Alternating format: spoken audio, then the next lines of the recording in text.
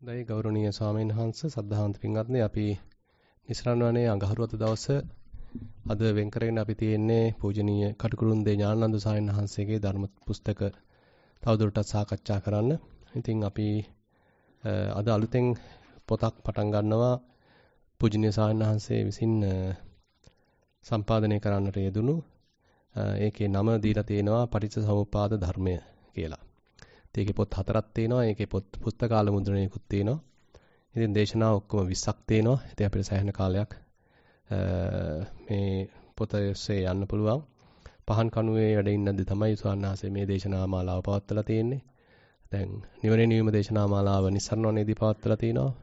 මේ දේශනා මාලාව පහන් කණුව සේනාසනයේදී පවත්වලා තියෙනවා. ඉතින් එහෙනම් අදත් සුපුරුදු පරිදි පඤ්ඤාලෝක සාන්නාංශයේ සූදානම්ින් ඉන්නවා. පොත කියවීමෙන් ධර්ම සාකච්ඡාවට සම්බන්ධ වෙන්න. එහෙනම් අපි පොත කියවීමෙන් ඒ ධර්ම සාකච්ඡාව ආරම්භ කරමු. අවසරයි ස්වාමීන් වහන්ස. නමෝ තස්ස භගවතු අරහතෝ සම්මා සම්බුද්දස්ස නමෝ තස්ස භගවතු අරහතෝ සම්මා සම්බුද්දස්ස නමෝ තස්ස භගවතු අරහතෝ සම්මා සම්බුද්දස්ස පටිච්ච සමුප්පාද ධර්මය පූජ්‍ය කටුකුරුන්දේ ඥානානන්ද ස්වාමින් වහන්සේ පළමු වන දේශනය. නමෝ තස්ස භගවතු අරහතෝ සම්මා සම්බුද්දස්ස. යදාහවේ පාතු භවಂತಿ ධම්මා ආතාපිනෝ ජායතෝ බ්‍රාහ්මනස්ස. අතහස්ස කංකහ වපයන්ති සම්බා යතෝ පජානාති සහේතු ධම්මං. යදාහවේ පාතු භවಂತಿ ධම්මා ආතාපිනෝ ජායතෝ බ්‍රාහ්මනස්ස අතහස්ස කංකහ වපයන්ති සබ්බා යතෝ කයං පච්චයානං අවේදී. යදාහවේ පාතු භවಂತಿ ධම්මා ආතාපිනෝ ජායතෝ බ්‍රාහ්මනස්ස විධූපයං තිට්ඨති මාරසේනං සුරියෝව ඕභාසය මන්තලික්ඛං උදානපාලි බෝධි වග්ගය. සදහවත් පින්නතුනි තිලෝගුරු භාග්‍යවත් සම්මා සම්බුදුරජාණන් වහන්සේ උරුවේලා ජනපදයේහි නේරංජරා නදී තෙර බෝධි වෘක්ෂ මූලයෙහි සම්මා සම්බෝධිය ලබාගෙන එම පර්යංකයේම විමුක්ති සෝය විඳමින් සද්දිනක් වැඩහුණා. ඒ සද්දින අවසානයේදී ඒ තුන්යම් රැයම පටිච්ච සමුපාද ධර්මය හොඳින් මෙනෙහි කළ බව උදාන පාළියේ බෝධි වග්ගයේ එන මුල් සූත්‍ර තුනේ සඳහන් වෙනවා. තමන් වහන්සේ ඒ පටිච්ච සමුපාද ධර්මය ඒ තුන්යම් රය තුල තුන් ආකාරයකින් මෙනෙහි කළ බව ප්‍රීතිවාක්‍ය වශයෙන් ප්‍රකාශ කෙරෙන ගාථා තුනයි අපි මාතෘකාව වශයෙන් තැබුවේ මේ ගාථා තුන බැලූ බැල්මට ඒකාකාර වගේ පෙනුනත් සැලකිල්ලෙන් කන් දුන්න පින්වතුන්ට තේරෙන්න ඇති පළමුවැනි ගාථාවට වඩා දෙවැනි ගාථාව වෙනස් වන්නේ පද තුනකට පස්සේ තව අලුත් පදයක් එකතු වෙනවා. ඊළඟ තුන්වෙනි ගාථාවේ පද දෙකක් හැර අලුත් පද දෙකක් සඳහන් වෙනවා. මේ ගාථාවල වටිනාකම ඒකාකාර නමුත් කොයි තරම්ද කියතොත් ඒ එක් එක් ගාථාවකින් පෙන්눔 කෙරෙන්නේ පටිච්ච සමුපාද ධර්මය බුදුරජාණන් වහන්සේ මෙනෙහි කළ ආකාර තුනක්. ඒ ඒ එක් එක් ආකාරයේ වැදගත්කම නිසාම වෙන්න ඕනෑ උදාන පාළිය කියන ග්‍රන්ථය මේ ආකාර තුන ඉදිරිපත් කරන්නේ. එකම නිදාන කතාවක් සහිත කෙටි සූත්‍ර තුනකින්. එතකොට ඒ පළමුවෙනිම සූත්‍රයේ අගට එන ගාථාවේ අර්ථය අපි ඉස්සර වෙලා කියලා සිටිමු. අපි ඒ ගාථා තුනේ සාමාන්‍ය අර්ථය තේරුම් ගත්තත් යම් අවබෝධයක් ලබන්න පුළුවන් මේ පටිච්ච සමුප්පාද ධර්මය පිළිබඳව. ආරම්භක වශයෙන් අපි සාමාන්‍ය අර්ථය කියනවා. යදාහවේ පාතු භවಂತಿ ධම්මා ආතාපිනෝ ජායතෝ බ්‍රාහ්මනස්ස. යම් අවස්ථාවක කෙලස් තවන වීරයෙන් යුක්තව ධ්‍යාන වඩන්නා වූ බ්‍රාහ්මණයාට ධර්මයෝ පහළ වෙද්ද යදා හවේ පාතු භවಂತಿ ධම්මා ආතාපිනෝ ධායතෝ බ්‍රාහ්මනස්ස. මෙතන බ්‍රාහ්මණ කියලා කියන්නේ මේ ශාසනික විවහාරය අනුව රහතන් වහන්සේටයි රහතන් වහන්සේට බුදුරජාණන් වහන්සේට ඇතැම් තැන්වල බ්‍රාහ්මණ වචනය යොදනවා. මෙතනත් ඒ අර්ථයෙන් ගන්න තියෙන්නේ. ඊළඟට කියවෙන පද දෙකෙන් කියවෙන්නේ අතස්ස කංකහ වපයන්ති සබ්බා යතෝ පජානාති සහේතු ධම්මං. ඒ බ්‍රහ්මණයාට ඒ ධර්මයන් පහළ වෙනකොට ඒ බ්‍රහ්මණයාගේ සැක ඉවත් වී යනවා. මක් නිසාද? යතෝ පජානාති සහේතු ධම්මං. හේතුන් අනුව සිදුවන ඒ ධර්මතාව දැකීමෙන් ඒ පළමුවෙනි ගාථාවේ අර්ථයයි. ඔන්න දෙවෙනි ගාථාව අර විදිහටමයි පටන් ගන්නේ.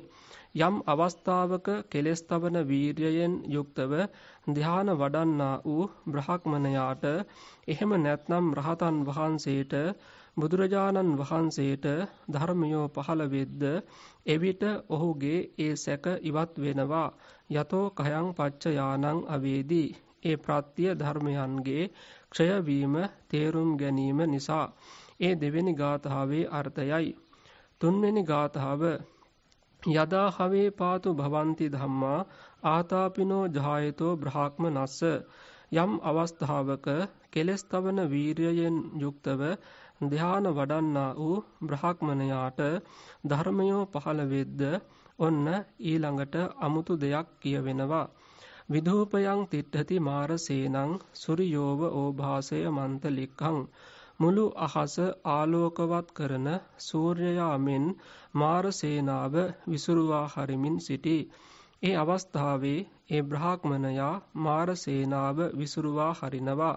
විධූපයන් තිට්ඨති මාර සේනං උපමාව දෙන්නේ සූර්යෝව ඕභාසය මන්තලික්ඛං අහස ආලෝකවත් කරන සූර්යයා මෙන් ඔය ඉතින් ගාථා තුනේ අර්ථයයි දැන් ඉතින් මේක ආශ්‍රයෙන් අපි පටිච්ච සමුපාද ධර්මය තේරුම් ගන්න බලමු.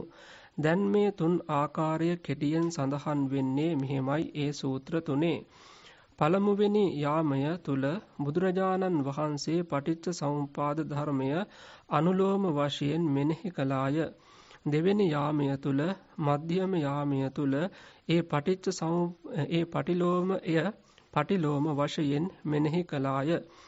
පච්චිම යාමය කියලා කියන අලුයම කාලය තුල ඒ දෙකම එකතු කරලා අනුලෝම පටිලෝම වශයෙන් ඒ දෙකම එකතු කරලා මෙනෙහි කළාය කියලා.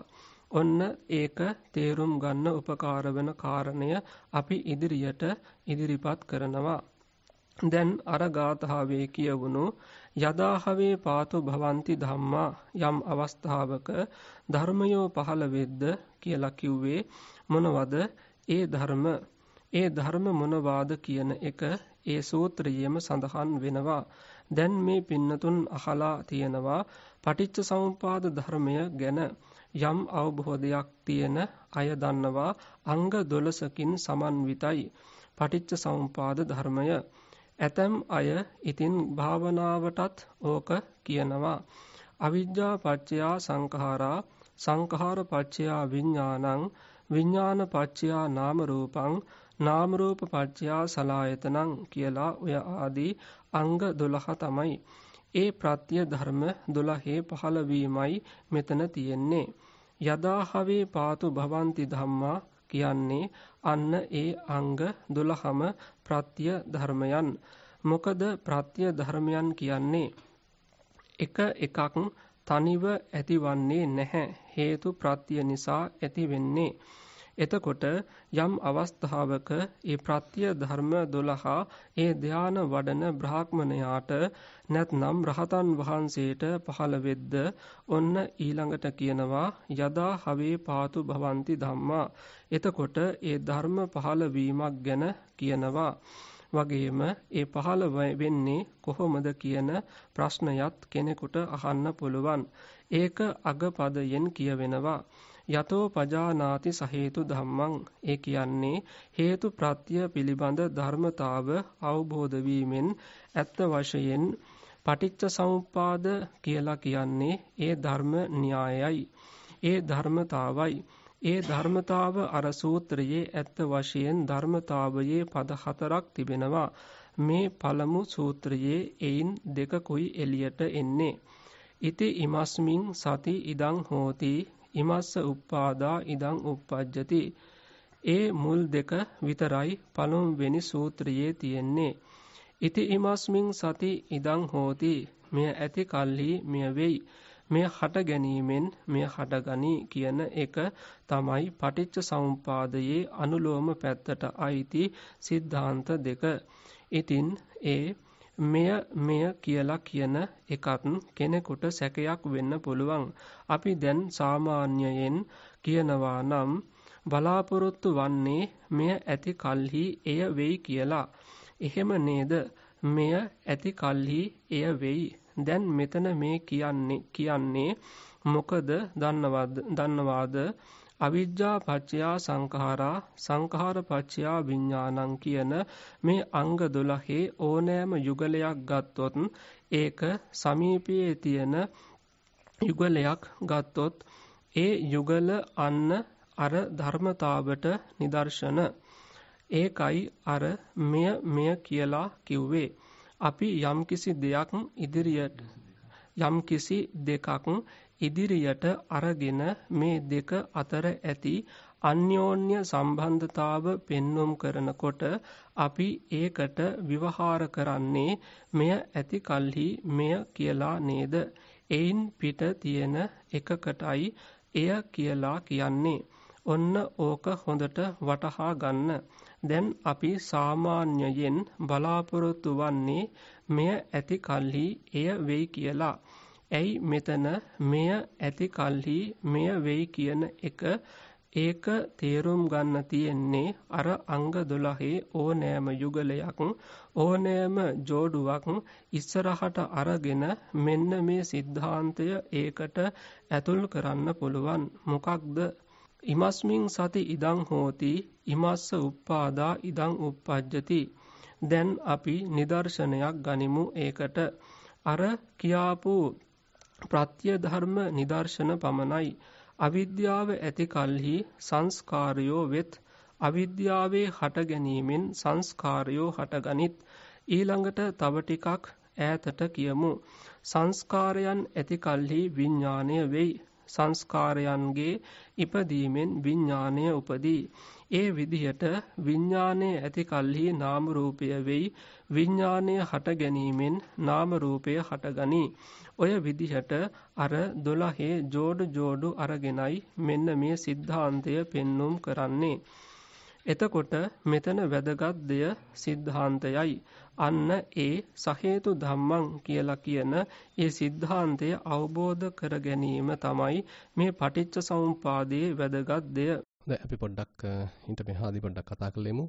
තව දැන් මේක පටන් ගන්නේ ස්වාමීන් වහන්සේ උදාන පාළියේ එන සූත්‍ර තුනක් මුල් කරගෙන චුට්ටක් ඒක මතක් කරන්නම්. දැන් උදාන පාළිය අන්තර්ගත වෙන්නේ කුද්දක නිකායේ. ඉතින් කුද්දක නිකායේ එන එක කොටසක්. එක පොතක් කියලා කියන්න පුළුවන් උදාන පාළිය.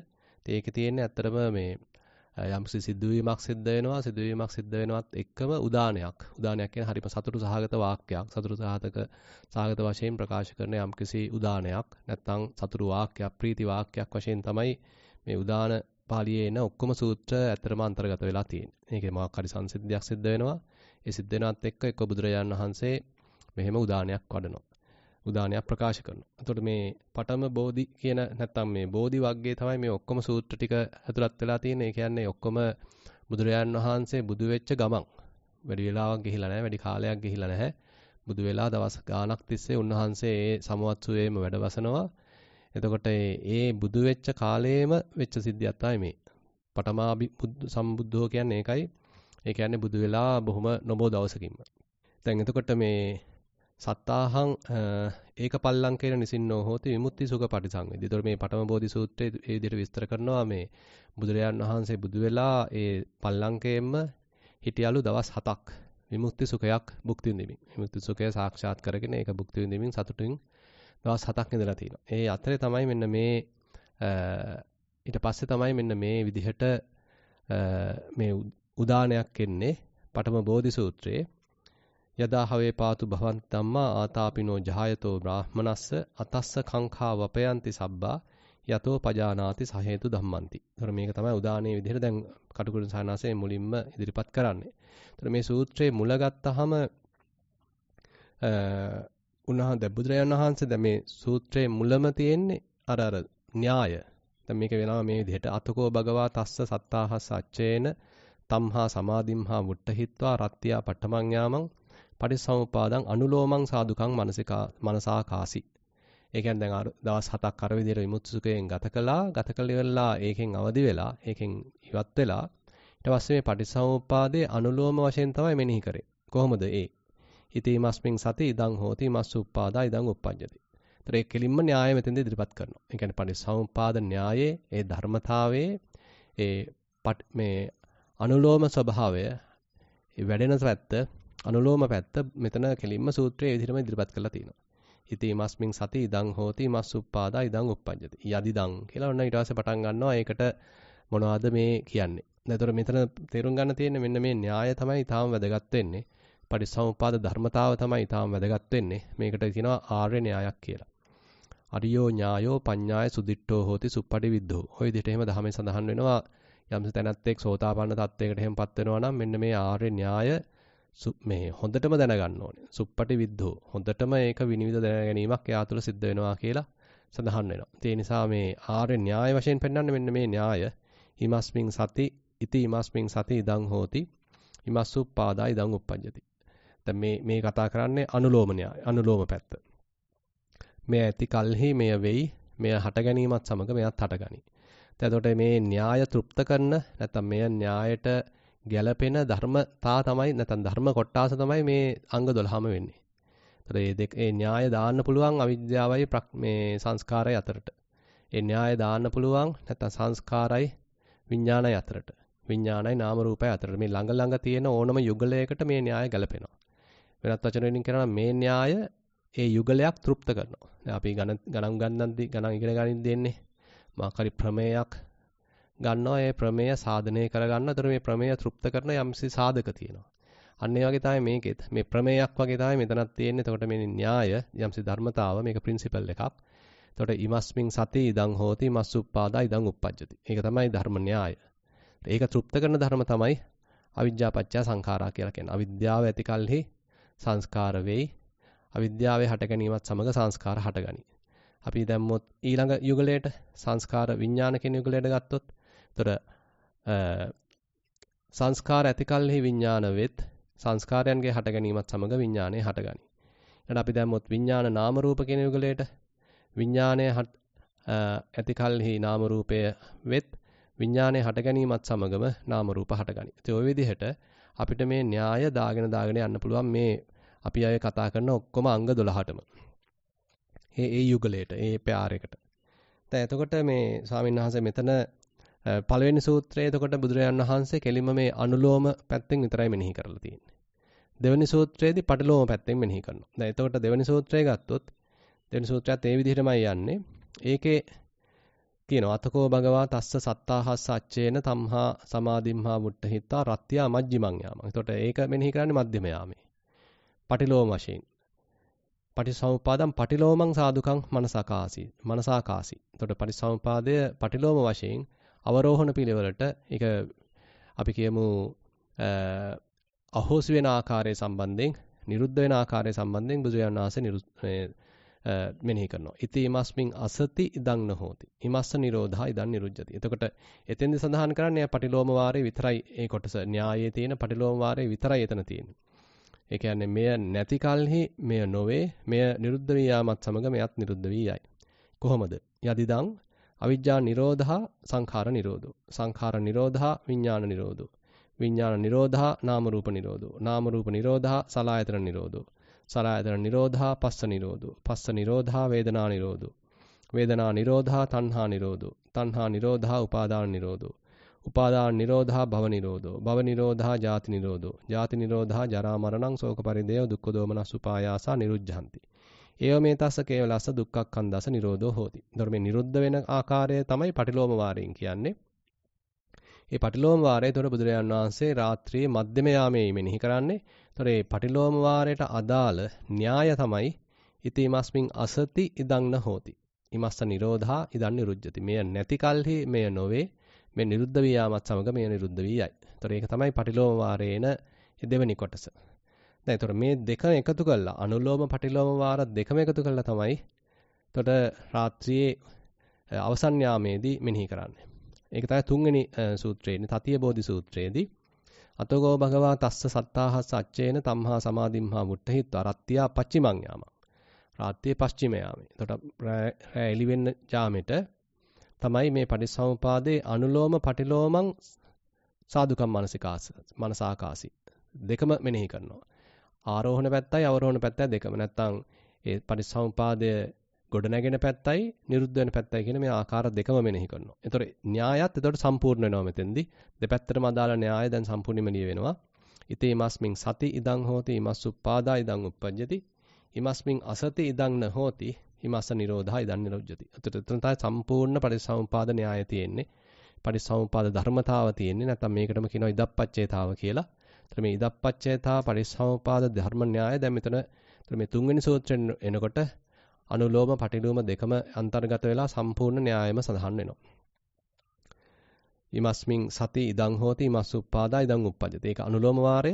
ඊළඟට ඉමස්මින් අසති ඉදං නොහෝති මස නිරෝධා ඉදං නිරුද්ධති කියන පටිලෝම වාරය. දෙකම එතකොට ඉදිරිපත් කරලා තියෙනවා. ඒතර මේකේ මේ සූත්‍රයේ ඒතර අනුලෝම වාරයයි පටිලෝම වාරයයි දෙකම මේ පච්චේ ධර්ම ටිකෙන් සඳහන් කරනවා. යදිදං අවිජ්ජාපච්චය සංඛාරා සංඛාරපච්චය විඥානං විඥානපච්චය නාම රූපං ඔය විදිහට අනුලෝම වාරය විස්තර කරනවා. ඊළඟට අවිජ්ජායත්තේව අශේෂ විරාග නිරෝධා. සංඛාර නිරෝධෝ සංඛාර නිරෝධා විඥාන නිරෝධෝ විඥාන නිරෝධා නාම රූප නිරෝධෝ. ඔය විදිහට පටිලෝම වාරයත් ඉදිරිපත් කරනවා. එතකොට දැන් මේ සම්පූර්ණත්වයේ වෙන්නේ එතකොට මේ දෙකම එකතු වුනහම එන එක ඉතින් අපිට කියන්න පුළුවන් මුළු න්‍යායම එකතු වුණා. මුළු න්‍යායම සම්පූර්ණ වුණා. අනුලෝම පටිලෝම දෙකම එකතු වුණා කියලා. එතකොට මේ තවදුරටත් එතකොට මේ ગાථා තුන එතකොට මේ සූත්‍ර තුන තුලම තියෙන්නේ පළවෙනි ගාථාව පළවෙනි සූත්‍රය දෙවෙනි ගාථාව දෙවෙනි සූත්‍රය තුන්වෙනි ගාථාව තුන්වෙනි සූත්‍රය. ඒතර පළවෙනි ගාථාවේ එන කාරණා කීපයක් කටුකුරුන් සාන්නාසේ විස්තර කරලා දෙනවා අපිට. යදාහවේ පාතු භවಂತಿ ධම්මා. ඒතර මොනවාද මේ ධම්ම කියලා කියන්නේ මෙතෙන්දී. ඒක විස්තර කරනවා. ඒතර මේ යම් අවස්ථාවක මේ ප්‍රත්‍යයෙන් හටගත්ත ධර්ම පහළ වෙනවද? හේතුප්‍රත්‍යයෙන් හටගත්ත ධර්ම පහළ වෙනවද? ආතාපිනෝ ජහයතෝ බ්‍රාහ්මනස්ස මේ කෙලස්තාවන වීරයෙන් යුක්තව ධ්‍යාන වඩන ඒ රහතන් වහන්සේට අතස්ස කංකා වපයන්ති සබ්බා ඒ අවස්ථාවේදී උන්වහන්සේ තුල කිසිම සැකයක් නැහැ යතෝ පජානාති සහේතු ධම්මං ඒ යම් අවස්ථාවක උන්වහන්සේ ඒ සහේතු ධම්ම කියන එක අවබෝධ කරගත්ත නිසා. તો දැන් කටුකුංසානාසේ විස්තර කරනවා මුලින් එන යථාහවේ පාතු භවಂತಿ ධම්මා. එතන ධර්මයන් පහළ වෙනවා කියලා කියන්නේ වෙන එකක් නෙමෙයි. අර හේතුප්‍රත්‍යයන්ගෙන් හටගන්න ධර්ම. ඒ කියන්නේ අර අවිද්‍යාව, සංස්කාර, විඥාන, නාම රූප, සලායතන, ස්පර්ශ, වේදනා, ඊළඟට තණ්හා, උපාදාන, භව, ජාති, ජරා, මරණ ඒ ඔක්කොම හේතුප්‍රත්‍යයෙන් හටගත් ධර්ම. අන්න ඒක තමයි මේ ධම්ම කියන වචනයෙන් මෙතන අදහස් වෙන්නේ කියලා ස්වාමීන් විස්තර කරනවා. ඊළඟට අන්තිමට එන යතෝ පජානාති සහේතු ධම්මා. ඒ සහේතු ධම්මං කියලා කියන්නේ අන්න අර ධර්ම න්‍යාය. පරිසම්පාද ධර්ම න්‍යාය නැත්නම් ඉදප්පච්චේතාව කියන්නේ ඒ ප්‍රින්සිපල් එකේ න්‍යාය තමයි මෙතන සහේතු ධම්මං කියලා කියන්නේ. ඒ කියන්නේ මුළු එක වශයෙන් ගත්තොත් පළවෙනි ගාථාවේ සඳහන් වෙන්නේ එතකොට ඒකයි අන්තර්ගත කරලා තියෙන අර පළවෙනි සූත්‍රය නිසා අපිට කියන්න පුළුවන් මෙතන සහේතු ධම්මං කියලා කියන්නේ ඕනනම් හට ගන්න ආකාරය කියලා. ඉමස්මින් සති ඉදං හෝති මස් උප්පාදා ඉදං උප්පජ්ජති කියලා. නමුත් ඒකේ මුළු ටෝටල් එක තියෙනවා කියලා කියන්න පුළුවන්. ඉතින් ඒක සහේතු ධම්මං කවහම සම්පූර්ණ න්‍යායව මෙතන අන්තර්ගතයි. නිරුද්ධ වෙන පැත්තත් අන්තර්ගතයි කියලා කියන්න පුළුවන්. එතකොට දෙවැනි එකේදී මේ ගාථාව මේ විදිහට මේ යන්නේ. යදා හවේ පාතු භවන්ති ධම්මා ආතාපිනෝ ජහයතෝ බ්‍රාහ්මනස්ස අතස්ස කංඛාව අපයන්ති සබ්බා එකම පදයයි වෙනස් වෙලා තියෙන්නේ යතෝ khයං පච්චයානං අවේදී. එතකොට මේ පච්චය ධර්මයන් ක්ෂය වී යාම නිරුද්ධ වියාම ගැන තමයි එතෙන්දි සඳහන් වෙන්නේ. මොකද දෙවනි සූත්‍රයේදී නිරුද්ධ වියාමේ පැත්ත ගැන තමයි බුදුරජාන් වහන්සේ රාත්‍රියේ මධ්‍යම යාමේ මෙනෙහි කළා තියෙන්නේ. ඒතර ඒක ගැන තමයි එතකොට විශේෂයෙන් සඳහන් වෙන්නේ අන්තිම ඒ ගාථා පදයේ යතෝ khයං පච්චානං අවේදී. එතකොට ෂේ වීම, නිරුද්ධ වියාම උන්වහන්සේ මෙනෙහි කරා අවබෝධ කරගත්තා. ඉතින් ඒක ගැන තමයි අවධාරණය කරන්නේ දෙවෙනි ගාථාවේ. ඊළඟට තුන්වෙනි ගාථාව වෙනකොට යතා යදාහවේ පාතු භවන්ති ධම්මා ආතාපිනෝ ජහයතෝ බ්‍රාහ්මනස්ස විධූපයන් තිට්ඨති මාරසේනං. මාරසේනා පළවා හරිමින් සිටිනවා. හරියට කවුරු වගේද? සුරියෝව ඕභාසය මන්තලික්ඛං. හරියට සූර්යාල් විසින් මේ ඝන අන්ධකාරය පළවා හරනවා වගේ. ඒතර මේ රහතන් වහන්සේ මේ මාර සේනාව පළවා හරිමින් වාසය කරනවා කියන එක එතකොට මෙතන සඳහන් වෙනවා තුන්වෙනි ගාථාව එතකොට ඒ සම්පූර්ණ අනුලෝම පටිලෝම වාර දෙකම සඳහන් කරන අවස්ථාවේදී තමයි තුන්වෙනි සූත්‍රයේ තමයි මේ සඳහන් කරලා තියෙන්නේ. ඉතින් මේ කොටස් ටික අපි මුලින්ම තේරුම් ගන්න අවශ්‍යයි. එතකොට කටුරුන් සානාසේ විශේෂයෙන් මතක් කරනවා වගේම එතකොට දැන් අපි සාමාන්‍යයෙන් පුරුදුලා ඉන්නවා පරිසම්පාදයේ කියපු ගමන් අවිජ්ජාපච්චය සංඛාරා සංඛාරපච්චය විඥාන විඥානපච්චය නාම රූපං කී කී කී කී අපි එහාට එහාට යනවා. ඉතින් ඒ ඒක ඉතින් වැදගත්. ඒ 12 මතක තියාගන්න එක වැදගත්. නමුත් ඊටාම වැදගත් දේ තමයි මේ ධර්ම න්‍යාය මතක තියාගන්න එක. ධර්ම න්‍යාය තේරුම් ගන්න එක. මොකද්ද මේ ධර්ම න්‍යාය? ඉතින් ඕක අපි නිකන් සරලව පොඩ්ඩක් භාවනාවට දාලා කියනවා නම් අපි කොහොමද මේ ස්පර්ශයක් නිසා වේදනාවක් පහළ වෙන්නේ? අපි එතෙන්ට දැම්මුකෝ මේ ධර්ම න්‍යාය. ඉමස්මින් සති ඉදං හෝති ඉමස්ස උපාදා ඉදං uppajjati කියන එකට එතෙන්ට දැම්මොත් ඉති ඒ කියන්නේ ස්පර්ශය ඇති කලෙහි වේදනාවක් පහළ වේ. ස්පර්ශය හට ගැනීමත් එක්ක වේදනාවක් හටගනී. ඊතන දැන් අපි පාදයක් ඔසවගෙන ඉන්නවා. ලොකු වේදනාවක් දැනෙන්නේ නැහැ. හැබැයි කොහේ හරි ඔන්න පාදේ වැදිනවා, ස්පර්ශ වෙනවා. ඒතකොට දැනීමක් හට ගන්නවා. වේදනාවක් හට ගන්නවා. මොකද මුලින් ලොකු වේදන ලොකු දැනීමක් තිබුණේ නැහැ. ලොකු වේදනාවක් තිබුණේ නැහැ. මොකද ලොකුට ස්පර්ශයක් සිද්ධ වුණෙත් නැහැ. හැබැයි දැන් ඔන්න ස්පර්ශය සිද්ධ වෙනවත් එක්ක පෙරපසු නොවි ස්පර්ශය සිද්ධ වෙනත් එක්කම ඔන්න වේදනාව හට ගන්නවා. දැනීමක් හට ගන්නවා. ඒතර ඒ ස්පර්ශය ඇති කලෙහි තමයි වේදනාව හටගන්නේ එහෙනම්. එහෙම නැතුව ස්පර්ශයෙන් නැත්තම් මේ වේදනාවක් හටගන්න විදිහක් නැහැ. ඊළඟට අපි හිතමු ස්පර්ශය හට ගැනීමත් එක්කම වේදනාවක් හටගනි. එතකොට ඒ ඇති වෙන ආකාරය. ඊට පස්සේ අපි හිතමු ස්පර්ශය නැත්තම් වේදනාවක් හටගන්න විදිහක් නැහැ. ස්පර්ශය නිරුද්ධ වියාමත් එක්ක වේදනාවක් නිරුද්ධ වෙලා යනවා. ඉතින් ඕක ඇත්තටම බුදුරජාන් වහන්සේ ලස්සන උපමාවකින් ඉදිරිපත් කරනවා. ඔය මට මතක විදිහට මේ ධාතු විභංග සූත්‍රයේදී දැන් බුදුරජාන් වහන්සේ කියනවා දේශනා කරනවා මේ මොකක් හරි වියලි දර කෑලි දෙකක් තියෙනවා. ලී කෑලි දෙකක් තියෙනවා. දැන් මේ දෙක අපි ඇතුළුවොත් මොකද වෙන්නේ?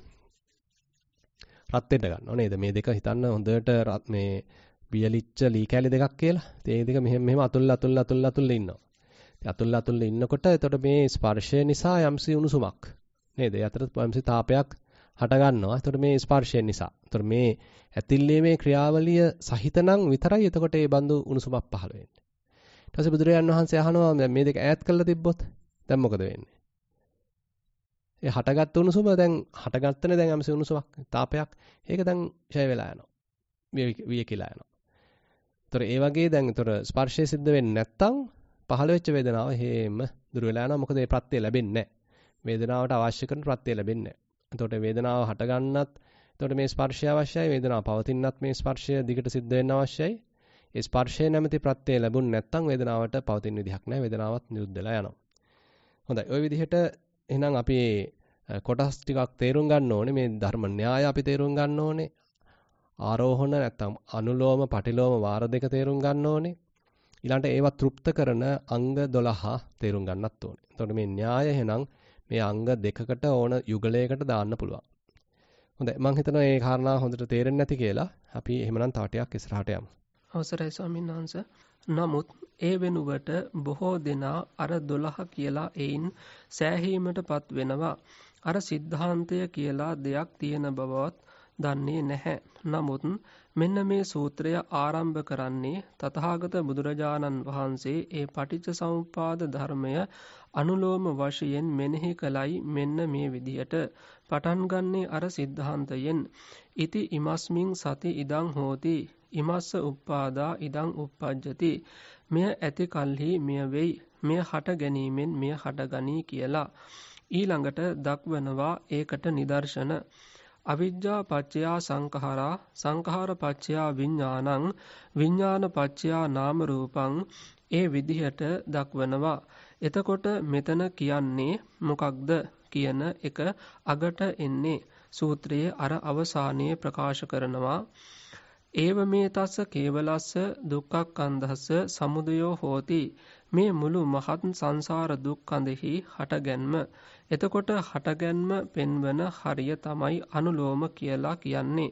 දැන් අපි කිව්වනේ පටිච්ච සමුප්පාදය මෙනෙහි කරන තුන් ආකාරයක් තියෙනවා කියලා. පළමු යාමය තුල බුදුරජාණන් වහන්සේ මෙනෙහි කළේ මේක හට ගැනීම පිළිබඳ පැත්ත. එතකොට ඒක නිසා අර දෙකෙහි කියුනේ මෙය ඇති කල්හි මෙය වෙයි. මෙය හට ගැනීමෙන් මෙය හට ගනී කියලා. ඒකට නිදර්ශන වශයෙන් අවිද්‍යාවේ හට ගැනීමෙන් සංස්කාරයෝ හටගනිත්. සංස්කාරයන්ගේ හට ගැනීමෙන් විඥාණය හටගනී කියලා. අවසාන කරන්නේ කොහොමද? මෙසේ මේ තනිකර ජාති ජරා මරණ ආදී දුක්ඛස්කන්ධයම ඇති වෙයි කියලා. ඔන්න ඕකට ගැලපෙන හැටියට තමයි අර පළමු ගාතාව. ඉතින් මේ එක්කම අපි විස්තර කරන්න බලමු මේ ගාථාවේ කියවෙනවා අතස්ස කංකහ වපයන්ති සබ්බා ඒ බ්‍රාහ්මණයාගේ ඒ රහතන් වහන්සේගේ සැක ඉවත් වෙනවා මොනවද මේ සැක අන්න ඒ සැක ටික හඳුනා ගන්න කෙනෙකුට මැදුම් සංගියේ සම්බාසව සූත්‍රය බලන්න වෙනවා. සම්බාසව සූත්‍රයේ තියෙනවා සාමාන්‍ය පෘථග්ජනයා අතීත අනාගත වර්තමාන කියන කාලත්‍රය පිළිබඳව ඇති කරගන්නා සැක විචිකිච්ඡා සැක කංකහ අතීතය පිළිබඳව ඒ කියන්නේ මේ කියපු පටිච්ච සමුපාද ධර්මය නොදුටු සාමාන්‍ය පෘථග්ජනයා මමය මාගේය කියන ඒ දෘෂ්ටියේ සක්කාය දිට්ඨියේ ගැලිලා ඉඳගෙන අතීතය ගැන හිතන්නේ මෙහෙමයි. මම අතීතයේ හිටියද? අතීතයේ හිටියේ නැද්ද? අතීතයේ හිටියේ කවුරු හැටියටද? අතීතයේ හිටියේ කොහොමද? මම අතීතයේ කවුරු වෙලා ඉඳලා කවුරු වුණාද? ඔන්න පස් ආකාරය. ඔය මම කියන එක ඉස්සරහට දාගෙනයි තර්ක කරන්නේ සාමාන්‍ය පෘථග්ජනයා. ඒ වගේම අනාගතය පිළිබඳවත් පස් ආකාරයකින් ඒ විදිහට මෙනෙහි කරනවා. ඒකට කියන්නේ අයෝනිසෝ මනසිකාර අනිසි මෙනෙහි කිරීම. සාමාන්‍ය පෘථග්ජනයා කරන මෙනෙහි කිරීම අනාගතය පිළිබඳවත් එහෙමයි. මම අනාගතයේ ඉන්නවාද? මම අනාගතයේ ඉන්නේ නැද්ද? මම අනාගතයේ ඉන්නේ කවුරු හැටියටද? මම අනාගතයේ ඉන්නේ කොහොමද? මම අනාගතයේ කවුරු වෙලා කවුරු වෙනවාද? මේක නිකං විහිළුවක් වගේ බැලුවම නමුත් ඔය විහිළුව තුල තමයි හැම පෘථග්ජනයාම ඉන්නේ. නමුත් ඔන්න ඊළඟට වර්තමානය ගැන හය ආකාරයකින් ඒක හරියට ඒක අයිටත් වඩා හාස්‍ය ජනකයි වගේ බැලුවාම මම ඉන්නවාද? මම නැද්ද? මම කවුද? මම කොහොම කෙනෙක්ද? මේ සත්වයා කොහෙන්ද මෙතෙන්ට ආවේ? මේ සත්වයා කියලා කියන්නේ ආත්ම අදහස මේ සත්වයා කොහෙන්ද මෙතෙන්ට ආවේ? මේ සත්වයා මෙතනින් කොහාටද යන්නේ? අන්න ආත්ම දෘෂ්ටිය තුල ඉතින් ඔන්න ඔය දහසය ආකාර සැක ඉවත් වෙනවා මෙන්න මේ ප්‍රත්‍ය පිළිබඳ ධර්මතාව දැකීමෙන්. ඒකයි මේ සෝවාන් මාර්ගයෙන් මේ පටිච්ච සමුපාද න්‍යාය අවබෝධ කරගත්තු ආර්ය ශ්‍රාවකයාට මේ සැක ඇතිවන්නේ නැත්තේ. මොකද මේ සැක අර මමය මාගේය කියලා කියන සක්කාය දිට්ඨිය බුදුරජාණන් වහන්සේ ප්‍රකාශ කරනවා. ඔය සැක අන්තිමට කෙලවර වන්නේ 62ක් දෘෂ්ටි වලින් අන්ත දෙකකට වැටෙනවා. එක්කෝ මම ඉන්නවා කියලා ගන්නවා. එහෙම නැත්නම් මම නැතයි කියලා ගන්නවා. අනාගතයේ ඒක තුල ශාශ්වත දෘෂ්ටියට වැටෙනවා එක පැත්තකින්. මම සදාකාලික ආත්මයක් ඇති කෙනෙක් කියලා. අනෙක් අන්තය තමයි උච්ඡේද දෘෂ්ටිය කියලා කියන මම මරණින් පස්සේ මෙතනින් ඉවරය. මේ කයට තමා මම ආත්මය කියලා කියන්නේ. ඔය අන්ත දෙක මැද හැට දෙකක් දෘෂ්ටි තියෙන බව බ්‍රහ්මජාල සූත්‍රයේ දක්වලා තියෙනවා.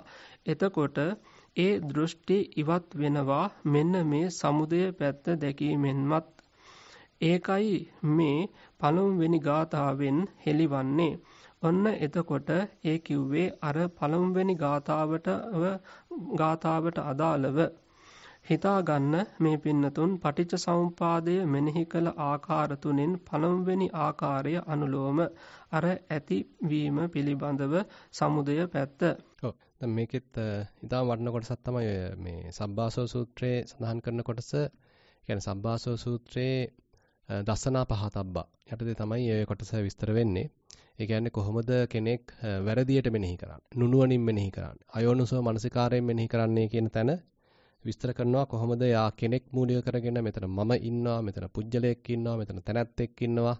ඒ තැනැත්තා ඒ මම කොහොමද එතකොට අතීතයේදී? මම අතීතේ හිටියද? මම අතීතේ හිටියේ නැද්ද? අතීතේ හිටියේ කවුරු වෙලාද? අතීතේ හිටියේ කොහොමද? ඊළඟට අතීතේ කවුරු වෙලා ඉඳලා කවුරු වුණාද? දැන් නිකන් බැලුවා නිකන් හොල්මන් වගේ. එතකොට හැබැයි එහෙම තමයි මෙනෙහි වෙන්නේ. ඒතර අතීතේ හිටියේ අතීතේ හිටියාද නැත්නම් හිටියේ නැද්ද? ඊළඟට අතීතේ හිටියේ කොහොමද? අතීතේ කවුරු හැටියටද හිටියේ? හිතන්න දැන් මං සතෙක් වෙලා හිටියද, දෙවියෙක් වෙලා හිටියද, මනුස්සයෙක් වෙලා හිටියද, මම කවුරු වෙලාද හිටියේ? මම ඒතර දුක් විඳාද? නැත්නම් මම සැප විඳාද? ඉතින් ওই විදිහට ඉතින් අපිට කතා කරන්න පුළුවන් නේ. ඒතර මේ අතීතය මුල් කරගෙන මම මුල් කරගෙන පුජ්‍යලයක් මුල් කරගෙන මෙතන සත්වයක් ඉන්නවා ආත්මයක් මෙතන තියෙනවා. ඒ ආත්මය අතීතේ තිබුණාද? අතීතේ මම හිටියාද? අතීතේ හිටියේ නැද්ද?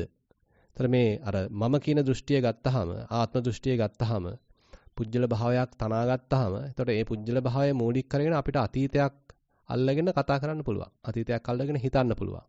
එහෙම හිතන්න හිතන්න හිතේ ගැට ගැහෙනවා. හිතේ තව තව සැක පහළ වෙනවා.